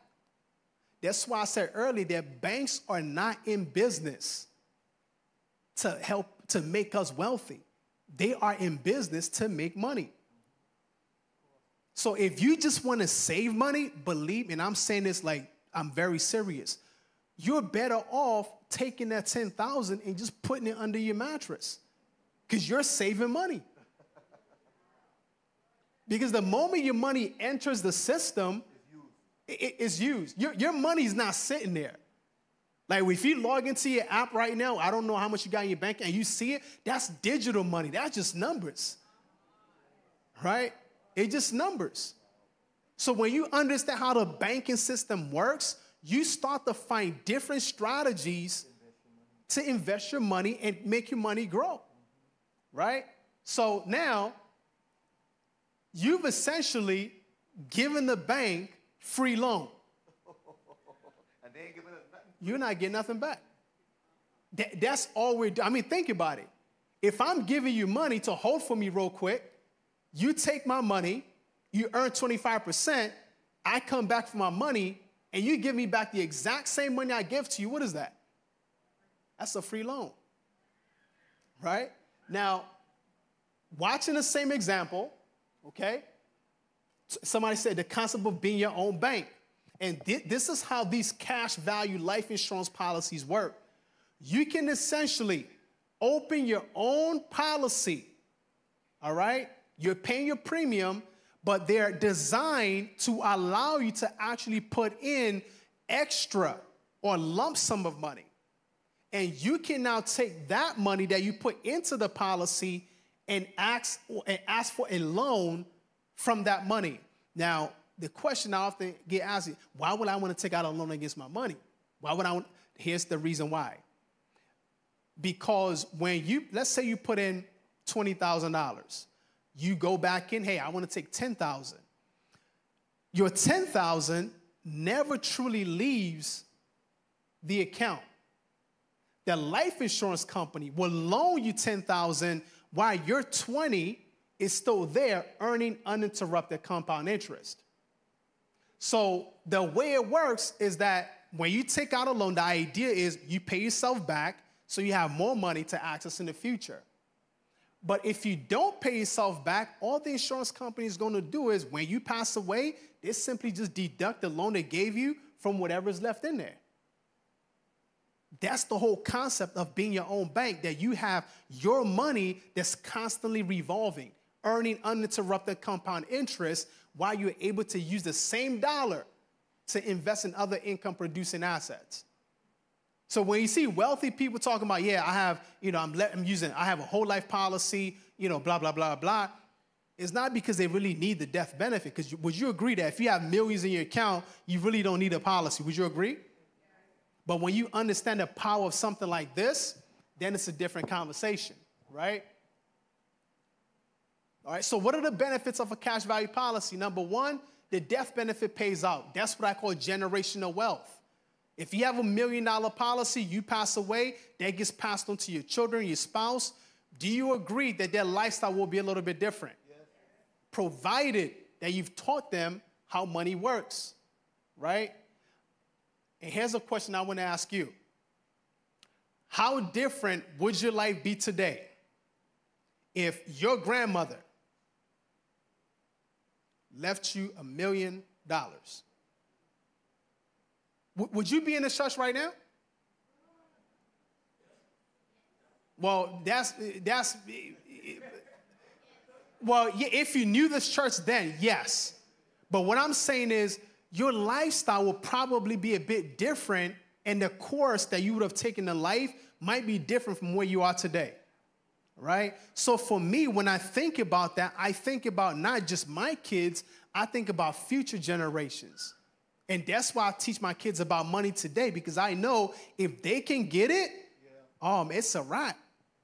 Right? My grandkids, they'll, they'll be kissing my forehead like my, my picture. Man, thank you, granddaddy. Right? So that's the beauty of it. So, number two, the cash value earns an average interest of 4 to 10%.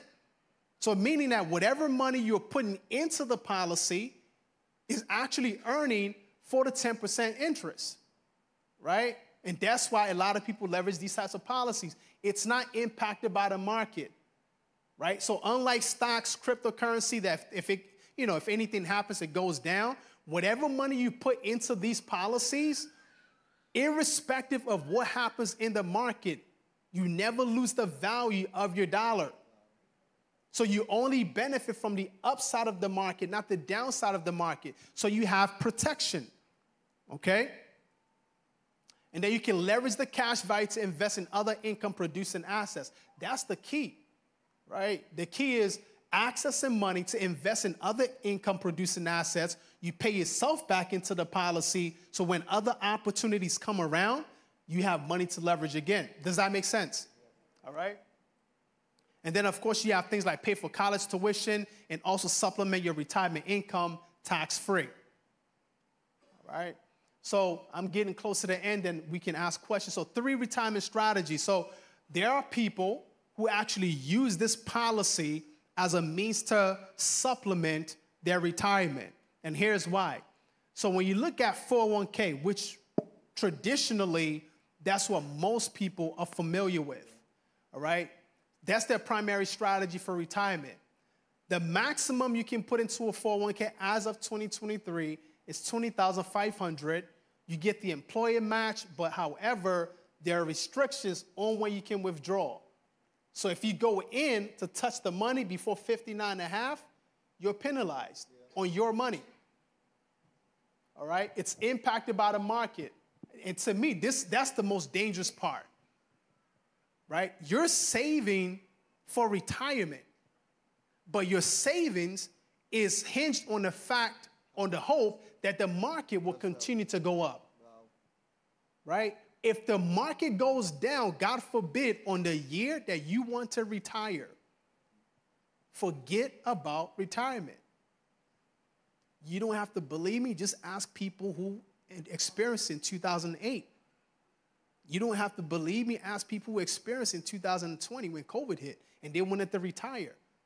And it, the entire portfolio took a 20, 30, 40% hit. That, that does a lot of damage to your, to your, to your soul. Mm-hmm. Right? Because you've saved, think about it, all your life you've been putting money away yep. in a 401k that's been going up and down with the hope that when you get to a certain age, you can retire, right? Have peace of mind, and all of a sudden, due to something that you have no control over, the market takes a hit. And that to me, I don't, I don't play around with this stuff right here. All right. Same thing with IRA. The cap is 6,500. But when you look at LIRP, LIRP simply means life insurance retirement plan, right? Using the same policies. You can put in any amount of money you want into the policy. You, there is no cap, depending on how the policy is structured, right? You can access your money anytime you want. There is no restriction, okay? It's not impacted by the market, all right? You have long term care. Here's what that means that means if you have a million dollar policy, and God forbid you become critically, terminally, or chronically ill, the life insurance company will allow you to access 80 to 90% of your death benefit while you were still alive. Wow. Where I'm not even talking about the cash value, the death benefit. So when you look, when you compare all three of these from a, I guess, a retirement standpoint, it's, it's a no-brainer, right? And here's what the inventor of 401k had to say, right? He actually said this, that he believed that he created a monster. Because what 401k was designed to do when it was first uh, uh, introduced in, I think, in 1970 something, is not what it's doing today. But yet, people are still uh, doing what people who were in the 70s were doing in 2023 when the game has changed. Because of lack of knowledge. Lack of knowledge, right? I'm not saying don't put money to your 401k. I'm just saying you have to be well informed. And let me see if this video will actually play. Uh, okay, it'll play, but the audio. We look into the fees that people pay at 401ks. Okay, and the perfect. Fact that most Thank people you. don't even know that they pay a fee. This is the most amazing thing it's a $4.4 trillion industry that for 30 years they didn't have to tell you what they were charging you. Only three years ago, the Department of Labor changed the rules and said you got to tell people what you charge them. So now they do that by giving you a 35 or 50 page disclosure document that if you have a PhD in finance, maybe you can figure out the hidden fees. Yeah, so here's what you have to know. Most people, 58% of the people don't even think there are any fees. I did three core messages for your viewer. One, fees matter and you're paying them. A 1% in fee because of the compounding over time, costs you 10 years of retirement income. The average person thinks they're paying less than 1% or nothing, and they're paying 3.1%. That's 30 years of fees. So I'll give you an example. If you have a 35 year old person, they have $100,000 and they put it in the market and they let it compound for 30 years till they're going to retire, yeah. and they're paying 1% in fees they have $761,000, which is nice growth you know, from that time. But if you paid 3% in fees for the same stocks, yep. you have 432,000. So in other words, you have 76% more money if you have less fees, or in the other view, you have 19 years less income. So people don't understand that fees matter. The second thing they don't know is that the funds matter. Where would you want to put your money? Most people are not stock experts. No, I know. It's like Greek to a lot of people. it's people. totally. So what do they do? Let someone else tell them, which is a disaster. Yep. So I interviewed Warren Buffett. I interviewed uh, David Swensen, who took Yale from 1 billion to 24 billion, the smartest minds in the world. And they all say, you're never going to beat the index. In fact, 96% of all active mutual funds will never be able to match the index over any 10-year period of time. So 4% make it. Now, some people say, I'm going to find the 4%. Yeah. Good luck. Essentially there, there, there are a lot of things that most people are not aware about when it comes to what they're putting their money in right and if you understand what i said yesterday that the biggest difference between those who are wealthy and those who are not is that keyword financial literacy mm-hmm. right anything that you're putting your money into you have to understand how it works and unfortunately you know things like 401k is one of those vehicles that people have zero clue Like they don't know what stocks, what stocks they're investing in, what mutual fund. They don't even know they're being charged all these fees and how that's being deducted from their real retirement income. So, you know, as I conclude tonight, because this is where I'm stopping at before we get into questions, is we gotta go. If you missed yesterday, please go back and watch the entire session to understand the importance of, you know, you being informed, right? Understand, understanding the importance of financial literacy. And then finally, like when you look at what we talked about today, you may not be able to take action on 90% of the stuff that I talked about. But just do something. Just do one thing. Somebody say, do one thing. Do one thing. Right? And that one thing that you do can now spark you in that journey of at least moving in the direction of building wealth. Okay? So at this point, I'm pretty much done. Um, I guess we're gonna. Come on, y'all, let's clap our hands. Let's stand on our feet and clap our hands, y'all. How many of you enjoyed tonight? Pastor Elliot, something on your face. Look at the up or out. Monica, you be seated. Anybody have any questions? Come and get anybody have any questions? Any questions? Come now. Any questions that's crossed your mind? Anything that came to your mind? Come, come, um, come on up. Come, Pastor Lockhart, hold the mic for me. So when people come, you can give them the mic. And there's no silly questions. Let me say that. There's no silly questions. So come. Somebody should stand on that side with the mic, Shadrach. Two sides. Hi, good evening. Um, My question is, if you borrow on these life insurance policies you have, do you pay interest and who's the interest paid to?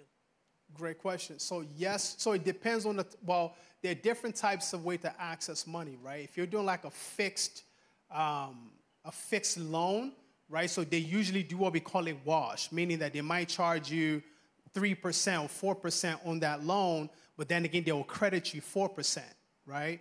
But if you're doing like a variable interest, which to me is more preferable, this is where you're actually your money stays in your cash value, but they're loaning you quote unquote their money.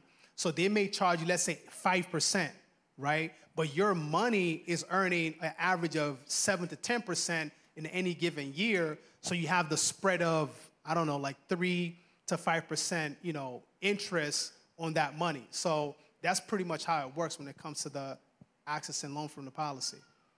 Did I did I answer your question? Okay.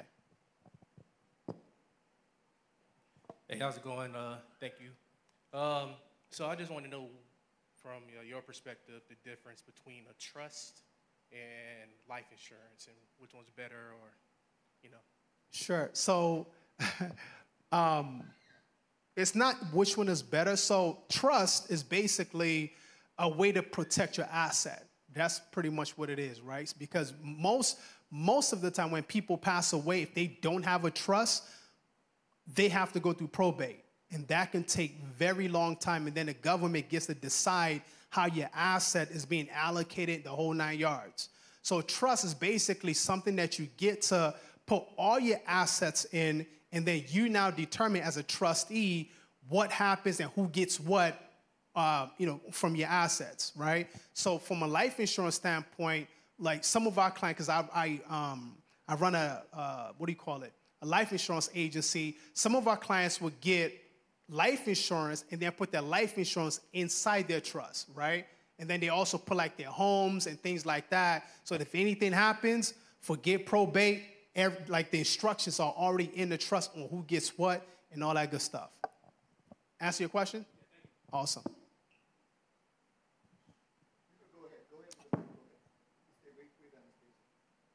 Okay, thank you for all the information. My question is about the getting rid of debt portion of the. Yep.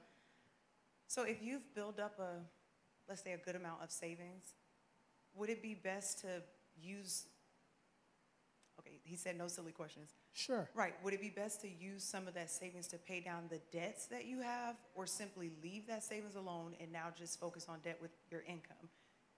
Like if I say you've built up a good amount of savings, so that way it's like, you, you have the ability to pay the debt, Sure. but you're just like, well, I don't want to touch my savings, so.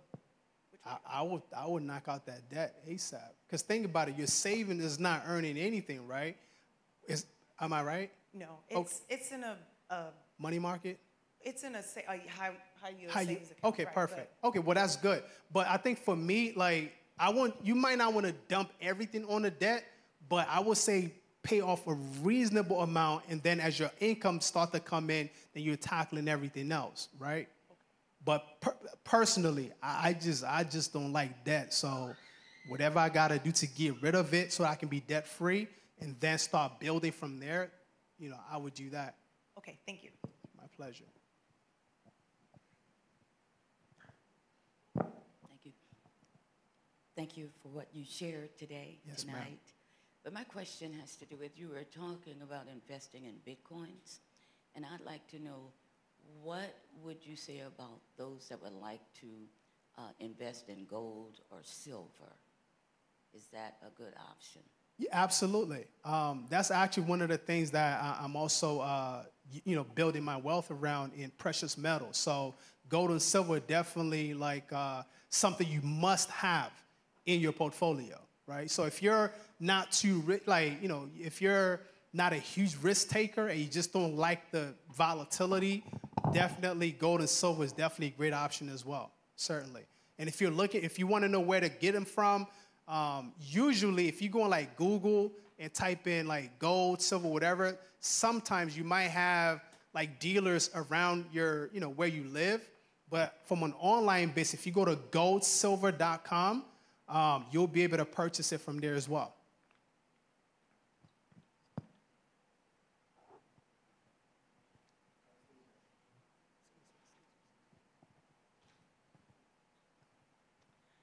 Thank you for all this information. Great information. Um, okay, so the life insurance.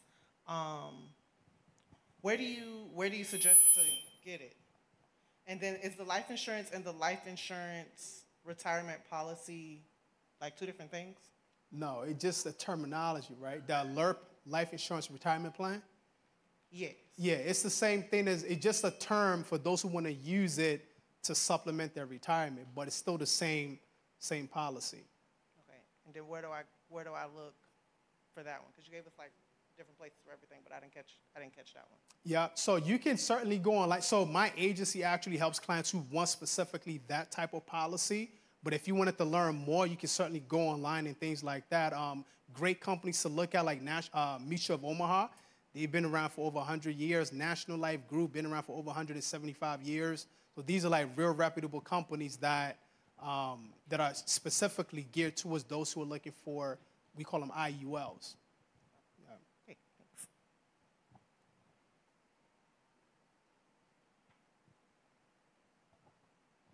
Okay, so my question is um, about the cash value life insurance Sure. policies. There's um, whole life, um, variable, and what's the other? Universal. Index Universal Life. Yeah, so which one would you say would be the better one? So whole, whole life is great. So some whole life policy, I won't say all whole life. Your normal whole life policy is not really built for building cash value. But if it's a mutual based whole life policy, then it allows you to do that. Uh, but most people don't usually go with that because you gotta have, if you're trying to use it for like being your own bank, you need a reasonable size of money to actually put into it. Variable life, I don't recommend that because essentially what they're doing is that they're taking your cash value and investing it directly into the market. So that means if the market goes down, then your cash value also goes down with it. While index universal life is not necessarily invested into the market, so it doesn't move with the volatility of the market. So you, you're better off getting a better protection on index universal life than variable universal life. Thank you. My pleasure. Yes. Um, so my question is with the leverage high value yield savings account. Yes. So the APY is the interest. Is it the same like the interest that we pay like credit cards? Like we have to pay like four percent. Is the four, is the APY the interest that they pay you for letting your money stay in the account? Yes. Correct. Okay. Okay. Yep. That was a very easy question. So you said you need a reasonable amount of money to invest in the life insurance policy to utilize it as your own bank in future. What would be a reasonable amount in that world? Well, so I think re- reasonable is relative, right? Because we have people who actually get these policies. They all they have is ten thousand dollars. They put it in. They have five thousand, but it has to be structured a certain way to help you get the kind of results that you want. Um, but for people, so we have also clients who use it for real estate deals, right? So rather than just using their, you know, the money in their account for their real estate deal, they put it into the policy, 50, 100 grand, and then they borrow against it and then use it for that. So it really all depends on where you are financially that determines how it's built. So essentially any amount can be put in, but if you're going to see good results, then, you know, you have to put in something reasonable. Like 20,000 plus. Correct. We need goals, right? Yeah, absolutely. So let me also say this you don't have to start out with that. You can start the policy, so you can start with $200 a month just to get the policy up and running. As time goes on, you come with you know extra cash, then you put $500, $1,000. You can start off that way as well. So you don't necessarily have to start the policy like right now and then put in a lump sum. So that way, you know, people are not discouraged and thinking that you need all this money to actually get it started. Um, as she was speaking about the yield accounts, it uh, just rang something in my mind. Um, there's a um, a company that I looked up. I don't know if you've heard of them called Interactive Broker um, Brokers. They have an APY of 4.58 percent. Um, I wanted to know. You say you never, you haven't heard of it, but Yeah. I wanted to know what your what your take on it was. Now, I've never heard of them, but I mean, any the, essentially you can research any company online just to kind of understand where they are, what they you know what they're into, and then if it makes sense, then you know essentially do it. But you know, the ultimate goal is to put your money into something that's giving you more returns than traditional banks are. Gotcha. Yeah.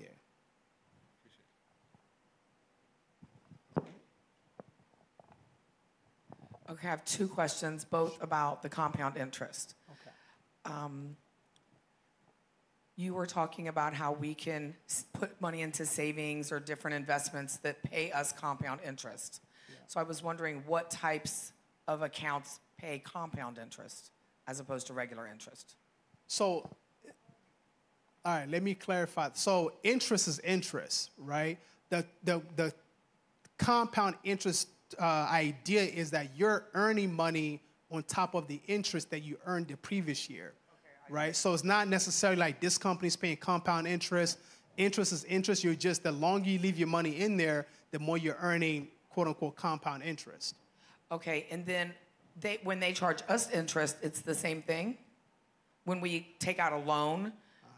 then the compound interest is the same, or is there some loans that are different? Because somebody told me once to never take out a home equity loan because it like never gets paid off because of the compound interest. Yeah, so where yeah, so you're either paying out compound interest or you're receiving compound interest. Always. Right. It's always compounded. Correct. Okay, thank you. My pleasure. Thank you for all the information. Um, with the high yield accounts, I have uh, two high yield accounts, and I noticed that, like you said, um, with patience, you can, like, I use them to borrow my own money because before I used to, you know, maybe go to a cash ash, uh, cash loan place or to the bank. So I started putting putting little money in them, and then uh, I think I had uh, like a deposit of twenty five dollars every pay Oh, period. that's love. And after one year, I checked it and I started rolling over a little extra money, little extra money. And I looked and I was like, $5,000? Where did that come from? Wow. So this one um, high yield had a high interest rate, uh, a high uh, return rate. And, but after COVID, it dropped along with all the other ones. They dropped down really, really low. I think it was like seven. Then it dropped down to four. And now um, it's still like four. But then I researched and saw some that had a higher yield. Do you suggest switching over or just staying until um, maybe it increased later or? If if there's one out there that has higher yield, I will move it over because you're not, you know, it's really it's a savings account, right? So it's almost like you're moving money from Bank of America to Wells Fargo. So I would definitely do that. Yeah. Sure. Question about the high yield account. Because in my head, I'm like, all right, they borrowing for us. What happened? They can't pay us back. So like, what's the risk of it? Well, so most of them are financial institutions, right? So if you look at Apple, for example, Apple really doesn't need our money. They're worth over a trillion dollars, right? So you're looking for institutions that are reputable to put your money into. So to me, I think if you look into like the five that I mentioned, you just you know look at it, which one makes sense, look at their track record, and then you put your money into it. Most of them are also FDIC insured as well, so you're good. So as long as you're not putting in more than two hundred and fifty thousand, I mean, even if they even if they become insolvent, your money's still protected. Yeah. So, um, this is like a tech stack question. So, are you using any data aggregators like Mint, uh, QuickBooks to help with the, I guess, automating your finances, or do you recommend any other apps and tools that we can use? Um, so I mean, I only use QuickBooks for like my payroll. Um, that's pretty much it. But now, is that related to like your personal finance? You mean, or? So I, uh, I'm an Excel guy. So I have an actually I have an Excel spreadsheet that has all my bills, exactly how much money I pay every month, so I know how much is coming out of my account every single month, and that's how I usually keep track of my expenses. But things are more technical now, so you can download apps and things like that to actually make it a lot easier. So it really depends on whatever works for you. Uh, do you do your own forecasting, or do you just kind of, I guess, look at how your, I guess, your stocks or stuff are performing on, like, I guess, on the website? I just pay attention to the cycle. So I'm not the type of person that will go in, oh man, it's down a day, and nah, I just leave it. But I understand like the investment cycle, and I know that right now we're in a bear market, so I dollar cost average. So dollar cost average simply means that if you buy stock or crypto A at $100 today, and then it drops to, say, $75 tomorrow, I'm going to buy more at $75 because now it's cheaper. So when the price start to go up, I'm able to recoup my money faster and be more profitable because I was buying every time every time the prices went down. Does that make sense? Okay. Amen. Awesome. Let's clap our hands, y'all. Give God a praise. Was that helpful? It's a lot of knowledge. He is full of knowledge. Come here for me. Come here. I, I, have, I have a question. You were saying that the value of the dollar, the paper dollar, is going down. So it'll be a good time to invest in like bitcoins or gold or. Everybody heard that? Everybody, go ahead. anything to retain the value of your money is what you want to invest in. So obviously, like gold and silver are great tools to actually retain, you know, the value of money. If you're not really in, you know, very, if you're not a risky person, I would definitely settle for gold and silver. Silver because it's more affordable for everybody. I Right. think it's like fifty dollar per uh, bullion coin, uh, while uh, gold is around two thousand dollars and some change. Wow. Let's stand on our feet, y'all. Well, tonight is just, a, it's like a class, like you're in school. And it's a lot to know. It's a lot to understand and to know. But knowledge is power. My people perish because of what? Lack of knowledge. It's so good to understand all of this and get greater insight. How many of you, how many of you agree with that? Lift your hands to heaven. I, I appreciate the knowledge. I, and not just the knowledge, but even, even the ability to, to get more wealth. I believe God wants to bring us in a wealthy place.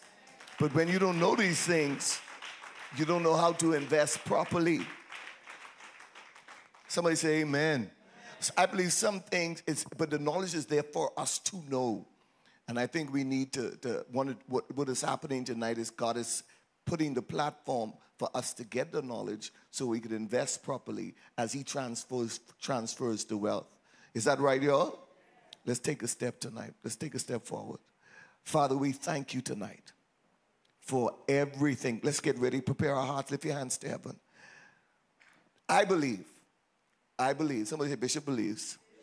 I believe the greatest investment we can make on earth is in the kingdom. Don't just say amen to be excited.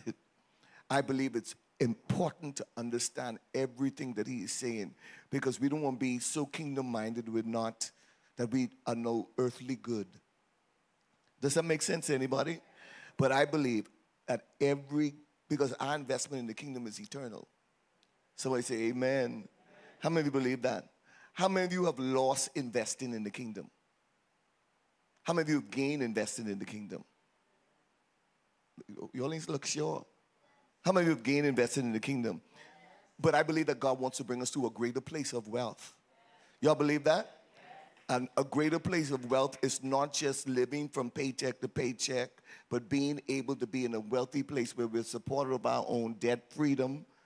How many of you would like to be debt free in the name of Jesus? Oh, no man, anything.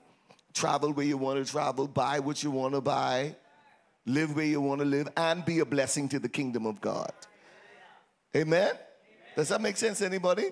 How many of you believe that if you were debt free, you would have a lot of less headaches? Step forward. How many of you believe if you could do more, you could if you could do more for the kingdom, it takes money to be able to do more for the kingdom. Is that the truth, y'all? Hallelujah. Y'all ain't sound sure.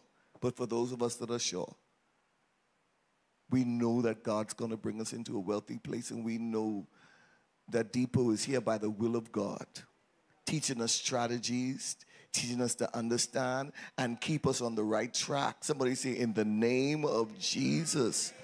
Because America is going through a, de- a, a recession, y'all. It's coming, or some say it's already here. But we want to be able to stand while this is going on and make it through these times. Like when Joseph was able to, and Pharaoh in Egypt was able to make it through the times. But God has given us wisdom, God is sharing knowledge and understanding so that we could know how to do it. Amen. I was sitting there saying, man, this young man has so much wisdom in the area of wealth. It's amazing. We thank God for it. Clap your hands one more time. Give God a praise. And he's sharing it. And what he's doing, he's not keeping it. That's very key, y'all. He's not keeping it to himself. He is sharing it.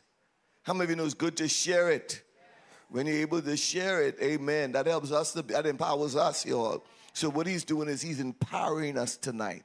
And I appreciate that in Jesus' name. You may be seated. Let's get ready to give our best to the Lord tonight. Let's give on. That's right. Clap your hand. Let's get ready to give our best to the Lord. So good, so good, so good. When you borrow from life insurance, is it better than borrowing from the bank because you don't have to pay as high interest? I'm asking from your life insurance. You, you get my question? If you borrow from your life insurance, is it better to borrow from your life insurance than to borrow from a bank? If you have the, because you because you pay less in the interest. It's like you're borrowing from you, you become your own bank. Okay. How many of you in here don't have life insurance? Get life. So what you learn tonight? You, you learn tonight that life insurance is important. It's not just something that you can get when you die, it's something that you can borrow from. That's right, you can borrow from it now. You become like your own bank. I think what is important, Monica, and, the, and I'm not sure, I got a little confused, yes, a little bit, not by you, but just understanding. The best insurance to have is whole life insurance, or you say, as I heard whole life variables and index, and what is the best one to have, or they vary? What if you're trying to save money or borrow money? Index, you know, see, we're not told that. All we tell, told is universal. Or get, I mean, all we're told is to get insurance. But we're not, and then we go out and we buy insurance, but we're not told which one is the best one to get. And I think it's good to know that you can borrow from it and you can invest your money in it. So you said variable index is the best. No, no, no. What's the best one? Which one to do? Index Universal Life. Write that down. Index Universal Life is the best insurance to have if you want to build the maximum cash value and then to be able to borrow from it. I, I would recommend everybody getting that one. That's the one I would recommend getting. Anybody want to add to that? Don't just let me be up here and y'all got ideas too. Hakeem, you want to say something? Come. Yeah, come on, you got to talk on the mic. So he's saying, I'm telling you as your leader, as your who?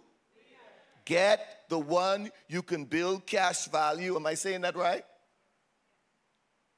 Dipo? Get the one you can build cash value in and the one you can borrow from. Honey, gotta write that down. Build the one you can get, build the cash value in, and the one you can borrow from. And what's the name of it? Y'all we're learning, y'all we're learning, we're learning. Y'all better get this. Because you're building cash value and you can borrow is we want to write that down. So if anybody comes knocking on your door for life insurance, what kind of life insurance you gonna get? Index Universal Life. And why are you going to get that?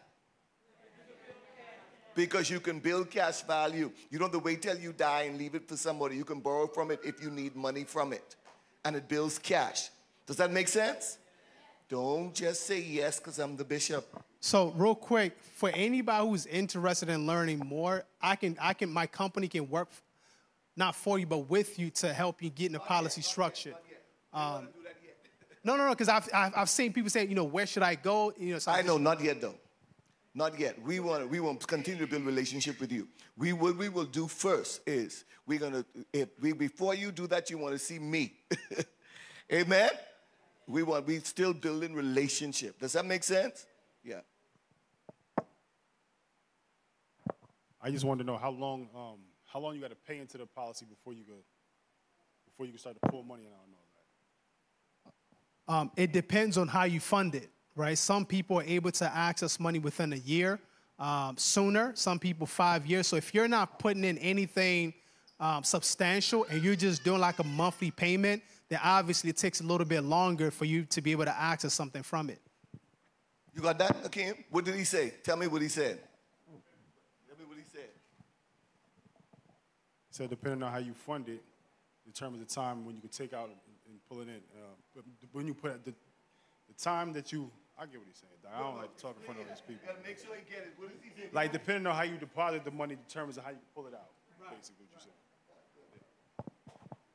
Very good. We got to make sure we clear on this. We got to make sure we clear. I won't be clear. How many of you want to be clear tonight? We, we are continuing to grow and learn, and we, I won't get this right.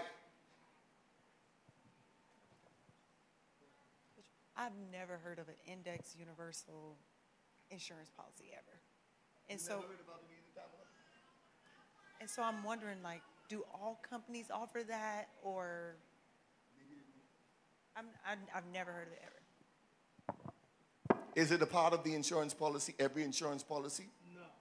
So there's certain companies that offer that. Correct. And there's certain companies that you offer term policies, right? So you got good to, to know. yeah. But if you want to just find out companies, if you go on Google and you'll be able to find some. But the most important thing about these policies is not necessarily you getting it, but how it's structured.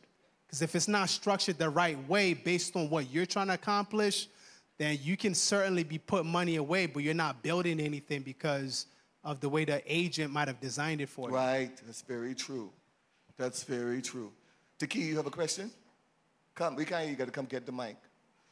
We're about to close, y'all. We're about to close. This is good stuff. We got more coming tomorrow night.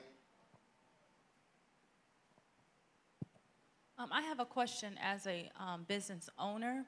Um, so I have the, the access to be able to offer health and 401k plans for employees.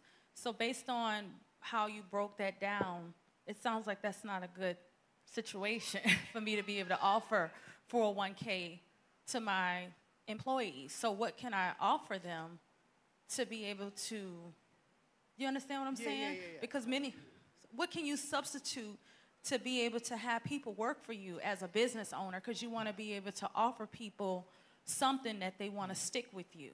Because Yeah. most of the companies, that's what they do. So I'm not saying don't invest in 401k at all. That's not what I was saying, right? I'm just saying that people need to understand what happens. Yeah, what happens when they put money in the 401k. They can actually pick, you know, what they're investing in. So they need to understand all those nuances, um, but at the same time, also consider having a retirement supplement in addition to their 401k, right? So as an employer, you can certainly still do that because if you're not offering anything of value to the employees, the chances are they may not stay long enough, right? So you can do that, but also let them know about maybe having a Roth IRA, for example, right? Um, so, So, but is there an alternative to have besides the 401k? Is what she's asking. Roth IRA, right? Um, but as an employee, I think some employers are also able to match up to a certain amount with like IRA or Roth IRA. So that's something you could possibly look into as well. Um, and then obviously, I talked about a LIRP, but as an employee, you may not feel comfortable talking about that. But stick with 401k, but also offer them the option of doing, you know, Roth IRA, certainly.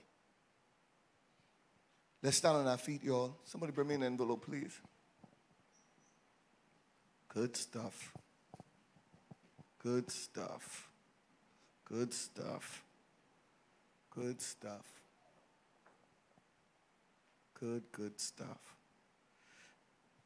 Amen. Tell somebody good stuff. Hallelujah. Thank you, Father. Point your hands at your seed.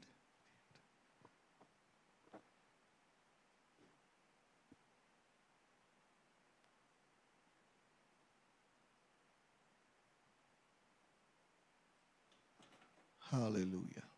Let's point our hands at our seed. Oh, we bless you, Lord. We honor you, God.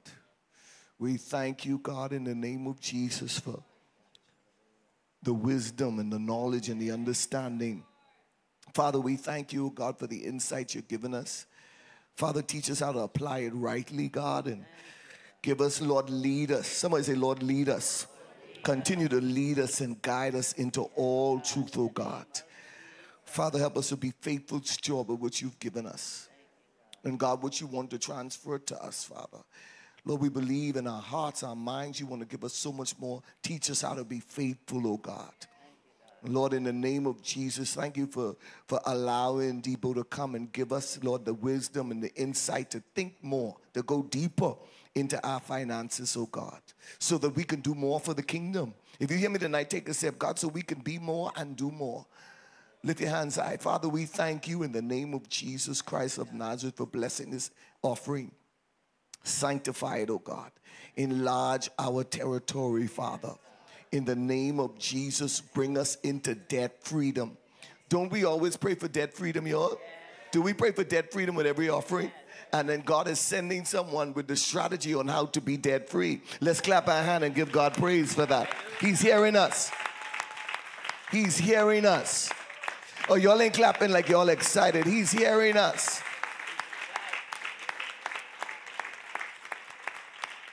With the heart to do it. Come on, take a step forward. Father, bless the meal tonight. Bless the food we're about to partake. Bless the hands that prepared it, oh God. Father, we thank you in the name of Jesus. Let the word find good ground. Father, lead us to the right places so we get the right answers, oh God. Father, help us not to be caught off guard with the times that we're in. Father, whatever is coming to this planet, help Jump Ministries to be a, ahead of it, God. Even as you protect, God, Egypt, protect this church and the body of Christ. Those of us that are planted, God, let our let our barn always be filled. Let, let it never grow empty. Mm, God, you'll lift your hands, your Father, we honor you tonight. Thank you for how you provided. Thank you for your continual provision, Father. Lord, we ask in the name of Jesus Christ for the blood of Jesus to be over our finances. We break every word curse, we break every psychic prayer. And Lord, we thank you for wisdom. We thank you for knowledge. Teach us how to be great investors. Mm, man, one person. That's right, Tamala. Teach us how to be great investors. So, God, there will be continual income, Father. Somebody say, in the name of Jesus. Let's clap our hand and give God praise, y'all. Let's clap our hand and give God praise. Hallelujah. Tell somebody, hallelujah. Come on, shout hallelujah. Come on, shout hallelujah. hallelujah. We're dismissed from this place, not his presence. Grab somebody neck, let him know you love them.